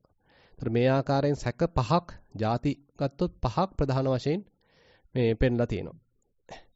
අතීතේ හිටියද අතීතේ හිටියේ නැද්ද අතීතේ හිටියේ කවුරු හැටියටද අතීතේ හිටියේ කොහොමද අතීතේ කවුරු වෙලා ඉඳලා කවුරු වුණාද? તો ඔය විදිහට. වර්තමානයේ වර්තමානයේ දැන් අපි හිතාගෙන ඉන්නේ මම ඉන්නවා. මම ඉලා පුජ්‍යලයක්, මම ඉලා පුරුෂයෙක්, මම ඉලා ස්ත්‍රියක්, මම ඉලා අම්මා, මම ඉලා තාත්තා, මම ඉලා දුව, මම පුතා. අපි මේ විදිහට අපිවට ආරෝපණය කරගන්නවා විවිධ චරිත. ඒ වගේමයි මේ චරිතය තුල මම ජීවත් වෙනවා, කෙනෙක් ජීවත් වෙනවා, තැනැත්තෙක්, පුජ්‍යලයක් ජීවත් වෙනවා. එතකොට එයාට දැන් කොහොමද? මට දැන් කොහොමද? එතකොට මේ මම, එතකොට මම කියන හැඟීම අපි තුල දැඩිව තියෙනවා. ආත්ම දෘෂ්ටියක් විදිහට. එයා එතකොට කොහොමද වර්තමානයේ සම්බන්ධයෙන් මෙනෙහි කරන්නේ මම මම ඉන්නවද? මම නැද්ද? මම කවුද? මම කොහොම කෙනෙක්ද? මම කොහේ ඉඳන්ද මෙතෙන්ට ආවේ? ඊළඟට කොහෙටද යන්නේ? ඊළඟට අනාගතය ගැනත් ඔය විදිහටම හිතන්න පුළුවන්. මම අනාගතේ ඉන්නවද? මම අනාගතේ නැද්ද? මම අනාගතේ ඉන්නේ කවුරු හැටියටද? නැත්නම් අනාගතේ වෙන්නේ කවුද? මම අනාගතේ ඉන්නේ කොහොමද? මම අනාගතේ කවුරු වෙලා කවුරු වෙනවද? ඉතින් මේ විදිහට ඔක්කොම එකතු කරාම 16 ආකාරයකින් හිතන්න පුළුවන්. ඒක ඇත්තටම දැන් මෙතෙන්ද නිකන් අපිට හැඟෙන්නේ මේක මෙහෙම අපි හිතන්නේ නැහෙනේ කියලා. නමුත් ඔහොම තමයි නිකන් වර්තමානයේදීත් සාමාන්‍යයෙන් කල්පනා කරන්නේ. දැන් අපි හිතන්න දැන් දැන් හිතන්න දැන් මෙතන ඉන්නවා මේ භාවනා වැඩසටහනට සම්බන්ධ වෙච්ච පිරිසක්. ඊට පස්සේ දැන් මම මේ කොහොමද ඉවරලා යන්නේ? මම බස් එකේද යන්නේ? මම බයිසිකලයේද යන්නේ? මම යාළුවෙක් එක්කද යන්නේ? මම ගෙදරද යන්නේ? නැත්නම් මම පන්සලකටද යන්නේ? මම මහාන වෙන්නද යන්නේ? ඒතර මේ අපි අනාගතය කරන යම්සි සිද්ධියක් මුල් කරගෙන ඒකට කෙනෙක් පුජ්‍යලයක් ඈඳගෙන අපිට හිතන්න පුළුවන්. කල්පනා කරන්න පුළුවන්. ඒක ඒකම තව එහාට ගිහිල්ලා තමයි කිලිම අර භව තත්වයකින් කල්පනා කරන්නේ මම අනාගත භවයේදී ඉන්නවද? අනාගත භවයේ මම නැද්ද? අනාගත භවයට මං කොහොමද යන්නේ? අනාගත භවයේ මොන වගේ වෙයිද? ඒතර নানা ප්‍රකාර විදිහට අපිට මේ භවයක් මූලික කරගෙන ටිකක් එහාට දාලා මේ කල්පනා කරන්නත් පුළුවන්. ඊට මෙහාදී අපි අතීතේ කරපු වැඩක් අල්ලගෙන ඊයේ මෙහෙම කරා, පෙරේදා මෙහෙම කරා, අවුරුදු ගානකට මෙහෙම කරා කියලා ඒකෙත් මම මූලික කරගෙන කෙනෙක් මූලික කරගෙන කල්පනා කරන්න පුළුවන්. ඒකෙත් තවත් එහාට ගිහිලා අතීත භවයක් අල්ලගත්තාම අතීත භවය මට තිබුණාද? අතීත භවය මට තිබුණ නැද්ද? අතීත භවයේ කවුරු වෙලාද හිටියේ? අතීත භවයේ මං කොහොමද හිටියේ? ඔහොම කල්පනා කරන්න පුළුවන්. ඉතින් මේ තන්නේ කරම පැටලෙලි ගොඩක් තියෙනවා. ඉතින් මේ විදිහට කල්පනා කරන්න කල්පනා කරන්න තව තව පැටලෙනවා. මනසේ පුදුම විදිහට පැටලවිලි ගොඩක් මෙතන හැදෙනවා. එතකොට ඔය ශාස්ත්‍ර දෘෂ්ටිය, උච්ඡේද දෘෂ්ටිය කියලා අන්ත දෙකකට වැටෙනවා කියලා කියනවා. කියන්නේ ඉන්නවා කියලා හිතාගත්තොත් මම අතීතයේත් හිටියා, දැනුත් ඉන්නවා, අනාගතෙත් ඉන්නවා කියලා හිතාගත්තාම එතකොට ශාස්ත්‍ර දෘෂ්ටියකට වැටෙනවා. එහෙම එකක් නෑ මේ කය මරණ ගාම මාත් ඉවරයි, ඔක්කොම ඉවරයි. මම ඉන්න මම එතනින්ම මේ නිරුද්ධ වෙලා යනවා. නිෂේධ වෙලා යනවා. ඉතින් ඒ කියන්නේ කෙලින්ම උච්ඡේද දෘෂ්ටිය. එක්කෝ ඒකට වැටෙනවා. ඉතින් විස්තර වශයෙන් දැන් සාවිනාසේ මතක් කරනවා මේක 62ක් දක්වා මේක යන්න පුළුවන් කියලා. ඉතින් ඒ කියන්නේ විවිධ අන්දමින් බොහොම සියුම් ආකාරයෙන් අපි තුල ආත්ම දෘෂ්ටියක් මුල් බැසගෙන ඉන්නවා. මෙතන කෙනෙක් ඉන්නවා කියලා අපි හිතාගෙන ඉන්නවා. පුඤ්ජලයක් මමෙක් ඉන්නවා කියලා හිතාගෙන ඉන්නවා. ඒවා මූලික කරගෙන අපි කල්පනා කරනවා. අතීතයට අනාගතයට වර්තමානයට අපි කල්පනා කරන ඒ හරහා පුදුම පැටලෙilla පැටලෙනවා. දැන් එතකොට ප්‍රධානම කාරණාවක් තමයි පටිච්චසමුපාදයේ තේරීමේ ඒක අවබෝධ වීමේ මේ ඔක්කොම ටික නැතිලා යනවා. මේ සියලු කෙනෙක් මමෙක් පුජ්‍යලයක් තැනැත්තෙක් මුල් කරගත්ත සැකසංකා සියල්ල දුර වෙලා යන්න ඕන. එහෙනම් අපිට නිවැරදිව පරිසම්පාදයක් අවබෝධ වුණා. ඒතර ඒ ඒ ධර්ම න්‍යාය තමයි දැන් මේ එතකොට සෝතාපන්න තත්වයකදී අවබෝධ වෙනවා කියලා දැන් මේ මතක් කරන්නේ. ඒතර මේ මට්ටමේදී මෙහෙම සැකයක් තියෙන්න බෑ. මම අතීතේ හිටියද? මම අතීතේ නැද්ද? දැන් ඉන්නවද? අනාගතේ ඉන්නවද? අදාළ නැහැ. මේ තනිකර සක්කාය දිට්ඨිය මූලික කරගත්ත ප්‍රශ්න ටිකක් මෙතන තියෙන්නේ. ඒතර මේ මුළු මුළු පද්ධතියම මම gediya පිටින්ම මම කියලා අරගෙන කෙනෙක් කියලා අරගෙන පුජ්‍යලයක් කියලා අරගෙන තැනැත්තෙක් කියලා අරගෙන මට මේක මේ අපි කියමු හේතුපත්‍යයෙන් හටගත්ත ධර්මතා ගොඩක් යන්නේ හේතුන් නිතර නිතර ලැබෙනකොට මේ මේ ඵල පහළ වෙන අය එහෙම සන්තතියක් මෙතන මේ ගමන් කරන්නේ. අතීතයේ තිබුණෙත් එහෙමයි වර්තමානයේ තියෙන්නෙත් එහෙමයි අනාගතයේ තියෙන්නෙත් එහෙමයි. කියලා අපිට එහෙම වැටහෙන්නේ අපි හිතන් ඉන්නේ නෑ එහෙම නෙමෙයි. අතීතෙත් මම හිටියා දැනුත් මම ඉන්නවා අනාගතෙත් මං ඉන්නවා. එහෙම තමයි සමාජයට හැඟෙන්නේ. එතකොට තනිකර තියෙන සක්කාය දිට්ඨියක්. අපි මේ සමූහය එකක්කට ගැනීමක්. අපි කියමු ස්කන්ධ පහ එකක්කට ගැනීමක්. ස්කන්ධ පහක්නේ බුදුහාමුදුර විස්තර කරන්නේ. රූප වේදනා සංඥා සංඛාර විඥාන කියලා. ඉතින් අපි එච්චර දුර හිතන්නෙත් නැහැ, ඒවා දන්නෙත් නැහැ, ඒවා ගැන අවබෝධයක් ඇත්තෙත් නැහැ. ඉතින් අපි මේ gediya පිටින්ම ගන්නවා. මේක තමයි මම. මේ ඉන්නේ මම, මේ ඉන්නේ පුජ්‍යලයක්, මේ ඉන්නේ තැනැත්තෙක්, කෙනෙක්. ওই විදිහට අරගෙන තමයි ඉතින් සාමාන්‍යයෙන් කල්පනා කරන්නේ. එතකොට මේ මේ සැක ටික දුරු එක ප්‍රධාන වාසියක් නැත්තම් ආනිසංශයක් කියන්න පුළුවන්. එතකොට මේ පටිච්චසමුපාදය හොඳට අවබෝධ වෙලා ප්‍රත්‍ය පිළිබඳ හොඳ අවබෝධයක් ඇති වෙලා ඒ ධර්ම න්‍යාය ඉදප්පච්චේතාව අවබෝධ වෙලා යෑම එතකොට මේ සැක දුරු වෙන්න එක ප්‍රධානම කාරණාවක් බවට පත් වෙනවා. හරි අපි තව ටිකක් ඉස්සරහට යමු. අවසරයි ස්වාමීන් වහන්සේ. ඔන්න ඊළඟට මධ්‍යම යාමියේ මෙනෙහි කළ ආකාරය තමයි අර දෙවෙනි ගාථාවෙන් කියවෙන්නේ. යතෝ කයං පච්චයානං අවේදී එතන අමුතුවෙන් කියවෙන්නේ මේ ප්‍රත්‍ය ධර්මයන්ගේ Nirodhaය ක්ෂය වීම දුටුවා ක්ෂය වීම දුටුවා කියන එක බුදුරජාණන් වහන්සේ පටිලෝම වශයෙන් මෙනෙහි කළ අවස්ථාවේදී පෙනුණා. අර හේතු ප්‍රත්‍යයන්ගෙන් ඇතිවෙන නිසාම ඒවා නැති වෙනවා. හේතු ප්‍රත්‍ය නැතිකොට නැති වෙනවා. එතකොට ඒක දක්වන්නේ මෙහෙමයි. අන්න ඒකට කියන සිද්ධාන්ත දෙක. ඉති ඉමස්මින් අසති ඉදං නහෝති ඉමස්ස නිරෝධා ඉදං නිරුජ්ජති. මෙය නැති කල්හි මෙය නැති වෙයි මෙය නැති වී යාමෙන් මෙය නැති වෙයි. ඊළඟට ඒකට එකතු වන එක තමයි නිරෝධ වචනය. ඒකට නිදර්ශනය. අවිජ්ජා නිරෝධා සංඛාර නිරෝධෝ.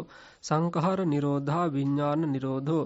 විඥාන නිරෝධා නාම රූප නිරෝධෝ. නාම රූප නිරෝධා සලායතන නිරෝධෝ. ආදී වශයෙන් අන්තිමට ජාති ජරා මරණ ඔක්කොම නිරුද්ධ වෙනවා කියලා ඉවර කරන්නේ කොහොමද? ඒව මේ තස්ස කේවලස්ස දුක්ඛක්ඛන්ධස්ස නිරෝධෝ හෝති. අන්න නිරෝධ පැත්ත. ඒකට තමයි පටිලෝම කිව්වේ.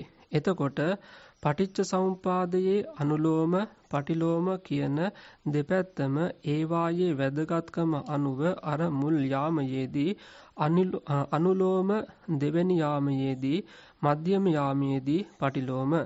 ඔන්න තුන්වෙනි යාමය. ඒක ඊට වඩා ගැඹුරුයි. තුන්වෙනි යාමයේදී මොකද කළේ? මේ දෙකම එකතු කරලා අනුලෝම පටිලෝම. ඒක කෙනෙකුට හිතාගන්න බැරි විදිහේ මහා ගැඹුරු දෙයක් එතන තියෙන්නේ. අනුලෝම පටිලෝම දෙකම එක විට ඒක දක්වන්නේ මෙහෙමයි. අන්න එතනදී අර හතර දක්වනවා. ඉති ඉමස්මින් සති ඉදං හෝති ඉමස්ස උප්පාදං ඉදං uppajjati ඉමස්මින් අසති ඉදං නහෝති ඉමස්ස නිරෝධා ඉදං නිරුජ්ජති. ඔන්න දැන් හිතාගන්න අනුලෝම එකේදී මුල් දෙක විතරයි දැක්වූයේ පටිලෝම එකේදී අග දෙක විතරයි දැක්වූයේ සිද්ධාන්ත වාක්‍ය හතරෙන් ඔන්න දැන් මේ අවස්ථාවේදී දක්වනවා ඒ හතරම පෙළගස්වලා මෙය ඇති කල්හි මෙය වෙයි. මෙය හට ගැනීමෙන් මෙය හටගනී. මෙය නැති කල්හි මෙය නොවේ. මෙය නැති වී යාමෙන් මෙය නැතිවේ. ඔන්න දැන් සම්පූර්ණයි පටිච්ච සමුපාද සිද්ධාන්තය.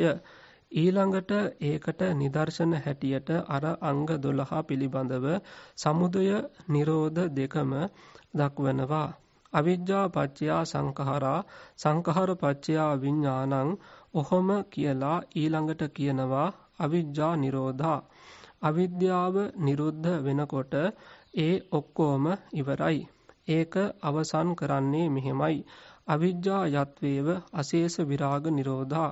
අවිද්‍යාව නිසා සංස්කාර සංස්කාර නිසා විඥානය ආදී වශයෙන් තනිකර දුක් කඳක් ඇති වෙනවා. එසේ වී නමුත් ඔන්න මේ වචනය ඊටාම වැදගත්.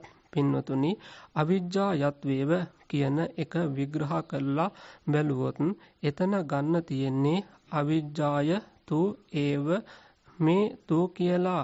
කියන්නේ නමුත් කියන අර්ථය එතන තියෙනවා. නමුත් එතකොට අර සාමාන්‍ය ලෝකේ මේ සංසාර ස්වභාවය අවිද්‍යාවේ ආරම්භයක් නැහැ කියලා කියන්නේ ඒ තරම් අපිට හිතා ගන්න බැරි තරම් කාලයක් අවිද්‍යාව ඇවිල්ලා තියෙනවා. ඒ අවිද්‍යාව නිසා අර විදිහට සංස්කාර විඥාන නාම රූප සලායතන ඔය විදිහට අන්තිමට දුක් කඳක් ඇති වෙලා තියෙනවා. නමුත් ඔන්න ඔය නමුත් ඊටාම වැදගත්. නමුත් අවිද්‍යාවගේම අශේෂ විරාග නිරෝධයෙන් අවිද්‍යාව යම් විදියකින් සම්පූර්ණයෙන්ම නිරුද්ධ කළොත් එතනම සංස්කාර නිරෝධය. සංස්කාර නිරෝධයෙන් විඥාන නිරෝධය. විඥාන නිරෝධයෙන් නාම රූප නිරෝධය. ඒ ක්ෂණයෙන්ම ආයේ භව කතන්දරයක් නැහැ මෙතන. දැන් කාලයේ පටිච්ච සමුපාදය තෝරන හැටි මේ පින්නතුන් දන්නවා ඇතිනේ. ඒ ක්ෂණිකවම අර අවිද්‍යාව නිරුද්ධ වෙනවත් එක්කම අර ජරා මරණ දක්වා ඔක්කොම නිරුද්ධ වෙනවා. ඔන්න එතකොට ඒ අනුලෝම පටිලෝම දෙකම ඒක ඊටාම ගැඹුරු කාරණයක්. ඒකට දීපු උපමාව හිතලා බලන්න. ඒකත් ඒ වගේමයි. විදූපයන් තිට්ඨති මාරසේනං සුරියෝව ඕභාසය මන්තලිකං ඒවා ගැන විවරණය කරනවා නම් පැයක් කියන්න දේවල් තියෙනවා. ඒකේ අදහස මේකයි. අර විදිහට අනුලෝම පටිලෝම දෙකම පෙළගස්වලා මෙනෙහි කරන්නා වූ බ්‍රහ්මණයාට ඇතිවන වෙනසයි එතන දක්වන්නේ. ඒ අවස්ථාවේ බ්‍රහ්මණයා විදූපයන් තිට්ඨති මාරසේනං මාරසේනාව විසුරුවා හරිමින් සිටිනවා. විදූපයන් කියන එක ඇත්ත වශයෙන් කියනවා නම් දුමවා හරිනවා කියන්න පුළුවන්. අර යක්කු එහෙම දුම්මල ගහලා එලවනවා. අන්න ඒ වගේ එතකොට මේ මාර පරාජය ගැන මේ කියන්නේ. විදූපයන් තිට්ඨති මාරසේනං ඒ බ්‍රහ්මණයා එහෙම නැත්නම් බුදුරජාණන් වහන්සේ ඒ මාරසේනාව පළවා හරිමින් සිටිනවා. සූර්යයා අහස ආලෝකවත් කරනවා වගේ අපි කෙටි කරන් කෙටි කරන්න උපමා දෙක තුනක් විතරක් දෙනවා මේ සූර්යයා කියන ආලෝකය තමා ප්‍රඥා ආලෝකය කියලා හිතාගන්න. මාර සේනාව කියලා කියන්නේ විතර්ක සේනාව. ඒක අපේ වචනයෙන් නොවේ සුත්ත නිපාතයේ ප්‍රධාන සූත්‍රය කියවන පින්නතුන් දන්නවා. බෝධිසත්වයන් වහන්සේම මාර සේනාව හඳුන්වන්නේ මෙන්න මේ විදිහටයි දස මාර සේනා. කාමාතේ පඨමා චුට්ටක් මෙතනට යන්න කලින් කතා කරලෙමු පොඩ්ඩක්. දැන් එතකොට මේ තුන්වෙනි කොටසට එනකොට තුන්වෙනි සූත්‍රයට එනකොට එතකොට මුළු ධර්ම න්‍යායම සම්පූර්ණයි. ඉති ඉමස්මින් සති ඉදං හෝති ඉමස්ස උප්පාදා ඉදං උප්පජ්ජති ඉමස්මින් අසති ඉදං නොහෝති ඉමස්ස නිරෝධා ඉදං නිරුජ්ජති. එතකොට මේක තමයි සම්පූර්ණ පටිච්චසමුපාද න්‍යාය කියලා සලකන්න තියෙන්නේ. ඒකේ අනුලෝම පටිලෝම වාර දෙකම තියෙනවා. එහෙමත් නැත්නම් සමුදය නිරෝධ කියන දෙකම තියෙනවා. ඒතර ඒක තමයි ප්‍රධානම න්‍යාය. ඒතකොට මේ න්‍යාය තෘප්ත කරනවා ඔය අංග 12ම. අවිද්‍යාව පටන් ජරා මරණ දක්වා තියෙන මේ අංග 12ම එතකොට මෙන්න මේ න්‍යාය මේ නිරූපණය කරනවා තෘප්ත කරනවා අවිද්‍යාව ඇති කල්හි තමයි සංස්කාර හටගන්නේ අවිද්‍යාවේ උපදීමත් සමග තමයි සංස්කාර උපදින්නේ. අවිද්‍යාව නැති කල්හි සංස්කාර නැහැ හටගන්න විදිහක් නැහැ. අවිද්‍යාව නිරුද්ධ වී යාමත් සමග සංස්කාරات නිරුද්ධ වෙලා යනවා. ඒතකොට සායනස මතක් කරන එතකොට ආයි අවිද්‍යාව නිරුද්ධ වෙලා වැඩි කාලයක් ගත වෙන දෙයක් නැහැ. එතකොට මේ ජාති ජරා මරණ දක්වා සියල්ල නැති වෙලා යන්න අවිද්‍යාව නිරුද්ධ වෙනවත් එක්කම ඉතිරි ටික ඔක්කොම ගලවලා යනවා. ඉතිරි ටික ඔක්කොම නිරුද්ධ වෙලා යනවා. එතකොට මේකේ අවිජ්ජායත්‍යේව. එතකොට නමුත් කියන වචනේ මේකෙදී ටිකක් සායනාසේ ඉස්සරහට අරන් තිනවා. අවිජ්ජායත් ඒව කියන්නේ. අවිජ්ජායතු ඒව කියලා තමයිලු ඒක සංදිය කැඩලා හදිලා තියෙන්නේ. එතකොට මෙන්න මේ තු කියලා කියන්නේ නමුත් කියන අර්ථය දෙන නිපාතයක් කියලා කියනවා. එතකොට එතනින් අදහස් වෙන්නේ මේ දැන් අර අර විදිහට දැන් කාලයක් තිස්සේ මුළු භව ගණන් තිස්සේ සංසාරයක් තිස්සේ මේක ගොඩනැගීගෙන ගොඩනැගීගෙන ආවා. මේ මේ දුකක් උරුම වේගෙන ආවා. ඒව මේ තස්ස දුක්ඛක්ඛන්දස සමුදයෝ හෝති කියලා නේද? මේ හිතා ගන්න බැරි තරම් දුක් ගොඩක් ගොඩනැගීගෙන ආවා මේ සංසාරයක් පුරාවට. හැබැයි ඒ නමුත් අවිද්‍යාව යම් විදිහට නිරුද්ධ වුණා නම් කිසිසේත්ම ඉතිරි නැතිවම නිරුද්ධ වුණා නම් සියල්ල අවසන් වෙනවා. නේද? දැන් අර තරම් අර කියන්නේ කොයිතරම් ගැඹුරු මේ අන්ධකාරයක් වුණත් අපිටම ලයිට් එක දැම්ම ගමන් නිරුද්ධ වුණා. නේද? ඊතර දැන් සම්පූර්ණයෙන්ම ඝන අන්ධකාරයක් තිබුණා. මේ ඝන අන්ධකාරය කොච්චර කාලයක් තිබුණාද කියලා ප්‍රශ්නයක් නැහැ නේද? අපි ඒකේ පහනක් දැල්ලපු ගමන් අන්ධකාරය එතනින් ඉවරයි. ඒක ආය ආයි කල්ප ගණන් තිබුණා කියන එක වැදගත් නැහැ. හැබැයි ආලෝකය දැල්ලපු ගමන් එතන අන්ධකාරය ඉවත් වෙනවා. ඒ වගේ එතකොට මේ අපි මේ සංසාරයක් සංසාරයක් පුරාවට කල්පගණන් තිස්සේ අවිද්‍යාවෙන් තමයි ඒතර මේ ගමනක් ගමනක් ඇවිල්ලා තියෙන්නේ. හැබැයි ඒ අවිද්‍යාව දුරු කරගත්තා නම් ප්‍රඥා ආලෝකයක් දැල්වගත්තා නම් එතකොට මුළු අන්ධකාරයම දුර වෙලා යනවා. සම්පූර්ණයෙන්ම එහෙනම් මේ දුක් කෙලවර කිරීමක් කරන්න පුළුවන් කියන එක එතකොට මෙතෙන් සඳහන් වෙනවා. එතකොට මේ දෙවෙනි සූත්‍රයේදී ඒ බෝධිවග්ගේන sorry තුන්වෙනි සූත්‍රයේදී එතකොට මේ අවස්ථා දෙකම නිරූපණය කළා අනුලෝම පටිලෝම වාර දෙකම එවත් නැත්නම් සමුදය නිරුද්ධ වාර දෙකම සඳහන් කරලා සම්පූර්ණ කරලා තියෙනවා. ඒකෙදී සායනස මතක් කරනවා අර ගාතාව ගත්තොත්. ඒක ටිකක් තව ප්‍රබලත්වයේ හඟවනවා. යදාහවේ පාතු භවಂತಿ ධම්මා ආතාපිනෝ ජහයතෝ බ්‍රාහ්මනස්ස විධූපයන් තිට්ඨති මාරසේනං සුරියෝව ඕභාසය මන්තලික්ඛං මේ යම් අවස්ථාවකදී බ්‍රාහ්මණයාට ඒ රහතන් වහන්සේට මේ පච්චේ ධර්ම හොඳට තේරෙනවද අවබෝධ වෙනවද ඒ කෙලෙස් මේ කෙලෙස් දුරු කරමින් ධ්‍යාන වඩන ඒ රහතන් වහන්සේට එතකොට දැන් නිතර රහත් වෙලා හැබැයි ඉන්නේ කෙලෙස් දුරු කරමින් කියවට කෙලෙස් තියෙන කෙලෙසුන්නේ දැන් අවසන් වෙලා විදූපයන් තිට්ඨති මාරසේනා. ඒ සියලු සියලු මාරසේනාව පළවා හරමින් හරියට නිකන් සූර්යයා විසින් මේ අඳුර පළවා හරමින් ඉන්නවා වගේ කටයුතු කරනවා කියලා කියනවා. දැන් ඊට පස්සේ එනවා විස්තරයක් මේ මාරසේනාව ගැන. දැන් ඒ මාර සේනාව ගැන විස්තරයක් මේක එනවා පදහන සූත්‍රයේ. සුත්ත නිපාතයේ වෙන පදහන සූත්‍රයක මොනවද මේ දසමාර සේනා කියලා කියන්නේ. දසමාර සෙන් පරදා කියලා කියනවා නේද? මාර සේනා 10 මොනවද කියන එක තමයි මෙතෙන්දී විස්තර වෙන්නේ. ඒකෙනුත් හරි අපි ඒක ගාතාවත් ගාතාවයි කියවලම චුට්ටක් ඉදිරින් පටන් ගමු. සුත්ත නිපාතයේ කියන තැනින් මාර සේනාව කියලා කියන්නේ. එහෙමයි. මාරසේනාව හඳුන්වන්නේ මෙන්න මේ විදියටයි. දස මාරසේනා කාමාතේ පඨමාසේනා ဒ ුතියා අරති බුච්චති තතියා කුප්පිපාසාතේ චතුත්ථි තණ්හා පවුච්චති ආදී වශයෙන් දස මාරසේනාව හඳුන්වලා තියෙන්නේ විතර්ක හැටියටයි। කාම අරති කියලා කියන්නේ නොඇල්ම සසුන් පිළිවෙතේ නොඇල්ම කුසගිනි පිපාස පිළිබඳ සිතුවිලි තණ්හාව ආදී වශයෙන් මේ විතර්ක එතකොට මෙතන කියන්නේ මොකක්ද? අර විතර්ක පැන නගින්නේ අවිද්‍යාව නිසයි. සංස්කාර කියලා කියන්නේ ඒ සංස්කාර තුලින් තමයි මේ ඔක්කොම මේ ලෝකයක් හැදිලා මේක තුල දුක සැප හැම එකක්ම ඇති වෙන්නේ. එතකොට යම් වෙලාවක අර අනුලෝම පටිලෝම දෙකම එක මොහොතේ මෙනෙහි කරනවා නම් ඒක ඊටාම සියුම් අන්දමින්. එතකොට අන්න අර විතර්කයන්ට තැන නැති වෙනවා.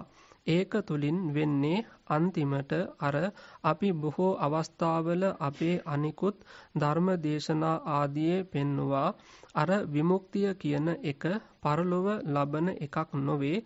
මෙලොවම අර කියාපු රහතන් වහන්සේගේ හිත තුල විතර්ක සමනය වීමෙන් මේ පින්වතුන් අහලා තියෙනවා නිවන කියලා කියන්නේ සියලු සංස්කාර සංසිඳීම සියලු උපදීන් අතහැර දැමීම අන්න ඒ අවස්ථාවේ මේ කියන්නේ අරහත් ඵල සමාධිය.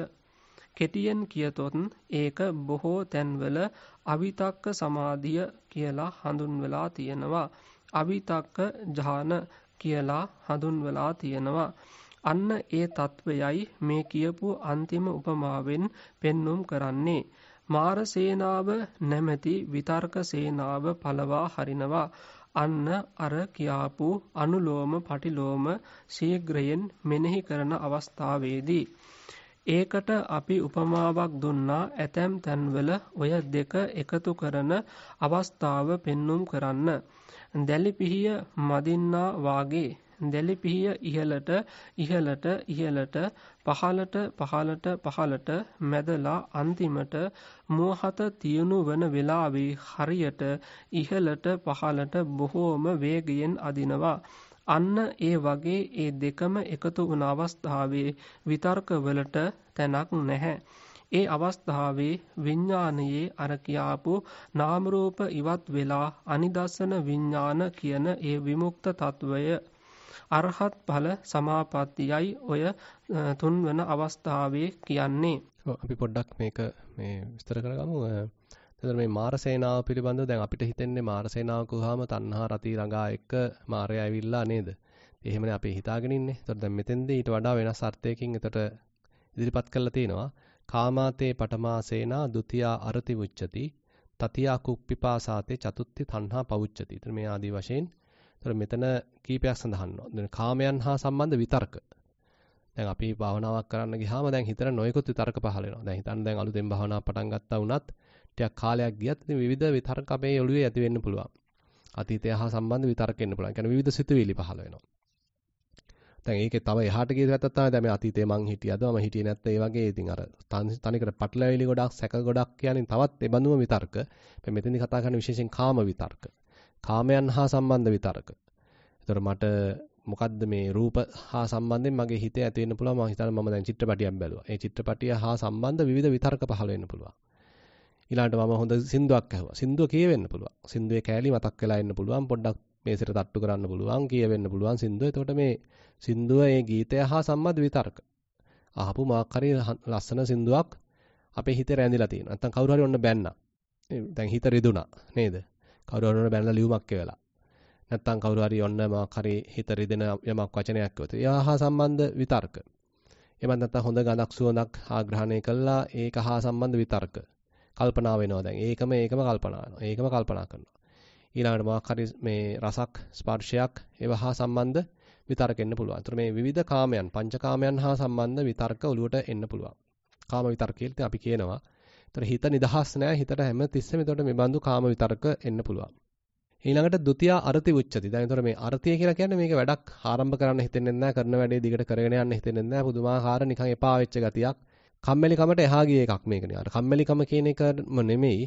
මෙතන අර මේ විශේෂයෙන්ම අර ප්‍රතිපදාවක් පුරන්න තියෙන ඇලි මැලි ගතිය. නිකන් වෙන වැඩක් නම් ඔහේ සමාහයට කරන්න ඉඩ තියෙනවා. නමුත් විශේෂයෙන්ම අපිටම නිවන් දකින්න වැඩක් කරන්න ප්‍රතිපදාවක් පුරන්න හිතට එච්චර එන්නේ නැහැ. ගැම්මක් එන්නේ වැඩක් අරඹන්න හිතෙන්නේ නැහැ. හරි කම්මැලි, නිකන් හරි උදාසීනයි. ඉතින් අන්නේ පටන් ගත්තත් ඔහේ අතරමැද අතලා දානවා. අන්නේ වගේ තත්ත්වයක් අරතිය කියලා කියනවා. ඉතින් ඒ හා සම්බන්ධ ඉතින් එතනට ගියාම ඉතින් හිතට නිතරම කතා කරන් ඉතින් බැරි බැරි බැරි යාම තමයි. බෑ කියාගත ගාමයි හිත ඉන්නේ. ඒතර ඒ හා සම්බන්ධ විතර්ක. කුප්පිපාසා. එතකොට කුප්පිපාසා කියවහම එතකොට බඩගින්න හා සම්බන්ධ සිතුවිලි ඊළඟ පිපාසය හා සම්බන්ධ සිතුවිලි. අපිට දැන් බඩගින්න නම් ඉතින් එතනක් තියෙන්නේ. එතකොටත් ඒකත් අමාරුයිනේ මේ භවනාවක් කරන්න. හිතේ වතුර තිබහත් වෙනවා ඒකත් අමාරුයි. හැබැයි බඩ ඕන්ට වඩා පිරලා නම් ඒත් අමාරුයි. එතකොට ඉතින් ඈනුන් යනවා එහෙනම් නිින්ද යනවා බත් මත එනවා. චතුත්ථ තණ්හා පවුච්චති. එතකොට තණ්හාවෙන් කරනවා විවිධාකාර තවත් ඉතින් විවිධ සිතුවිලි පහල කරනවා. කාම කාමය කියන්නේ ඉතින් ඒකම කාම තණ්හාව ඊළඟට භව තණ්හාව විභව තණ්හා කියන තව පැති දෙකක් එනවා. තණ්හා මූලික කරගත්ත විවිධාකාර ප්‍රපංච. විවිධ විදිහට අපේ හිත වලට එන්න පුළුවන්. දැන් මේ මේ හතර විතරයි දැන් මෙතන දාන කරලා තියෙන්නේ මේ වගේ හිතට එන්න පුළුවන් සියලු විතරක ජය ගන්න සියලු විතරක පළවා හරින්න මාරසේනාව පළවා හරින්න තුඩු දෙනවලු එතකොට මෙන්න මේ පරිස්සම්පාදයේ අනුලෝම ප්‍රතිලෝම වශයෙන් මෙනෙහි කිරීම. නේද? එතකොට අපිට ඒක ඉතන ගැඹුරක් තියෙනවා. එතකොට මේ මෙතන මෙනෙහි කරනවා කියලා එතකොට අපි මේ කල්පනා කරන ඒකත් විතර්ක කිරීමක්ද? එහෙම ප්‍රශ්නයක් එන්න පුළුවන් නේද? ඒකත් විතර්ක කරන්න පුළුවන්. ආ මේක මෙහෙම වෙනවා මේක මෙහෙම වෙනවා. ඉති මස්මින් සති ඉදං හෝති. මස් උප්පාදා ඉදං උප්පදි. ඔය කල්පනා කරන්න පුළුවන් නේද? එහෙම හිතන්න පුළුවන්. නෑ එහෙම කල්පනා කිරීමක් නෙවෙයි මට නම් හිතෙන්නේ මෙතන අදහස් වෙන්නේ. උන්වහන්සේට වැටහෙන්න ඕනේ. අවබෝධයක් වශයෙන් විඳින දයන ප්‍රඥාවකින් ඒක තේරෙන්න ඕනේ. හා මේ ඒ කියන්නේ දැනෙන්න ඕනේ අවිද්‍යාව ඇති කල්හි තමයි සංස්කාර හටගන්නේ. සංස්කාර ඇති කල්හි තමයි විඥාන පහළ වෙන්නේ. එතකොට තමයි නාම රූප දැලේ පැටලෙන්නේ. දැන් තමයි සලආයතන ක්‍රියාත්මක වෙන්නේ. ඔහොම ඔහොම ගිහිල්ලා එතකොට මෙතන දුකක් උරුම වෙන්නේ. හැබැයි අවිද්‍යාව නැත්තම් සංස්කාර හටගන්න විදිහක් නැහැ. සංස්කාර එහෙනම් නැති පසුබිමක විඥානයක් නාම රූපයක් එක පැටලෙන විදිහක් නැහැ. ඒතර මේක හොඳට විනිවිද දැක්කනම් ඒතර මේ පරිස්සම්පාදයේ අනුලෝම වාරය එහෙම නතර වෙන්න ඕනේ.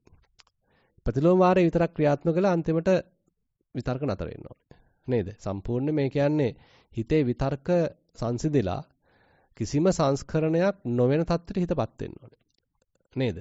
ඒ කියන්නේ සංස්කරණ සම්පූර්ණයෙන් නැවතිලා. සබ්බ සංඛාර සමතෝ කියලා කියන නිවනට නේද? ඒතර සබ්බ සංඛාර සමතයක් දැන් සිදු වෙලා. කිසිම සංස්කරණයක් සිද්ධ වෙන්නේ හිත ඇතුලේ හිතන්න දැන් අපිට දැන් රූපයක් පේනවා. හැබැයි ඒ පේන රූපය හා සම්බන්ධ කිසිම සංස්කරණයක් හිත ඇතුලේ ක්‍රියාත්මක වෙන්න බෑ. ඒ වගේම ඒතර එහෙම සංස්කරණයක් ක්‍රියාත්මක නොවුනොත් එහෙනම් ඒ හා සම්බන්ධ විඥාන නාම රූප ඒකට යෙදීගත් සලායතනයක් මොකක්වත් වෙන්න බෑ. නේද? නොපෙනෙනවත් නෙමෙයි හැබැයි සංස්කරණ වෙන්නේ එතකොට සද්ද ඇහෙන්න පුළුවන්, සින්දු ඇහෙන්න පුළුවන්, ඔය චූම්පාන් සද්ද ඇහෙන්න පුළුවන්. හැබැයි සංස්කරණ හිත ඇතුලේ නැත්තම් ඒතර එහෙම්ම නිකන් ඇහුණා ගියා. නේද? ඇහුණා ඉතින් ඒක නෑහුණා වගේ තමයි. ඒහා සම්බන්ධ විතරක ඇතුලේ පහළ වීමක් නෑ. සංස්කාර සමනයටපත් වෙලා. සියලු සංස්කාර සමනයකටපත් වෙලා. ඒතර මෙන්න මේ සියලු සංස්කාර සමනය වීම එහෙනම් අත්‍යවශ්‍ය අංගයක්. අපි සාමාන්‍යයෙන් කියනවා ප්‍රපංච සමනය කියලා. ඊළඟට එහාට ගිහිලා විතර්ක සමනය කියලා කියනවා. එතන මේ විතර්ක දුරු කරගෙන, ප්‍රපංච දුරු කරගෙන, හිත සම්පූර්ණයෙන්ම සංසිඳවගෙන, නිශ්ශබ්ද කරගෙන, බොහොම සංසිඳිච්ච, ශාන්ත වෙච්ච හිතකින් වාසය කරන කිසිම සංස්කරණයක් නොකර. ඒතර ඒ මට්ටමේකදී එතකොට විඥානයක් අபிසංකත විඥානයක් පහළ වෙන්න දෙයක් නැහැ. ඒ කියන්නේ මොකක් හරි අරමුණු කරගත්තු, අරමුණකට බැහැගත්තු, ඒ අරමුණ තුල වැඩිලා, වර්ධනය වෙලා අරමුණු උපාදාන කරගත්තු විඥාන තත්ත්වයක් පහළ වෙන්න දෙයක් නැහැ. ඒ කියන්නේ නිමිති අසුරු කරන විඥානයක් පහළ වෙන්න බෑ. ඒතර මේ මට්ටමේදී එහෙනම් කියනවා දැන් විඥානේ කිසිවක් පිනිබිඹු වෙන්නේ නැහැ. කිසිවක් එයා ඒ හිතේ පේන්න බෑ. දැන් සංඥා වශයෙන් නේද? දැන් අපිට සාමාන්‍ය හිතන්න අතීතේ මතක් වෙනකොට අතීතේ අපි අසුරු කරපු අයගේ පිළිඹු අපේ ඔළුවේ පේන්න ගන්නවනේ නේද? හිතන්න දැන් ඔන්න ආම යම්සි කෙනෙක් ඇසුරු කරා. මගේ යාළු මිත්‍රාදීන් එක්ක මම ඔන්න ප්‍රිය සම්භාජනයේට සහභාගී වුණා.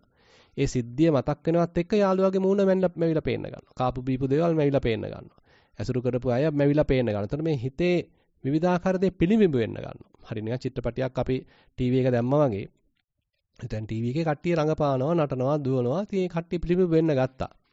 ඒ වගේත් එහෙනම් අපේ ටීවී එක දාපු ගමන් හිත නැමෙති ටීවී එක ඔන් කරපු ගමන් ඔන්න දැන් පේනවා නාම රූප කට්ටිය දඟලනවා, හෙට දඟලනවා, මෙහෙට දඟලනවා ඔක්කොම ටික යනවා. හැබැයි මේ මට්ටමේදී ඒ කිසි දෙයක් තියෙන්න බෑ.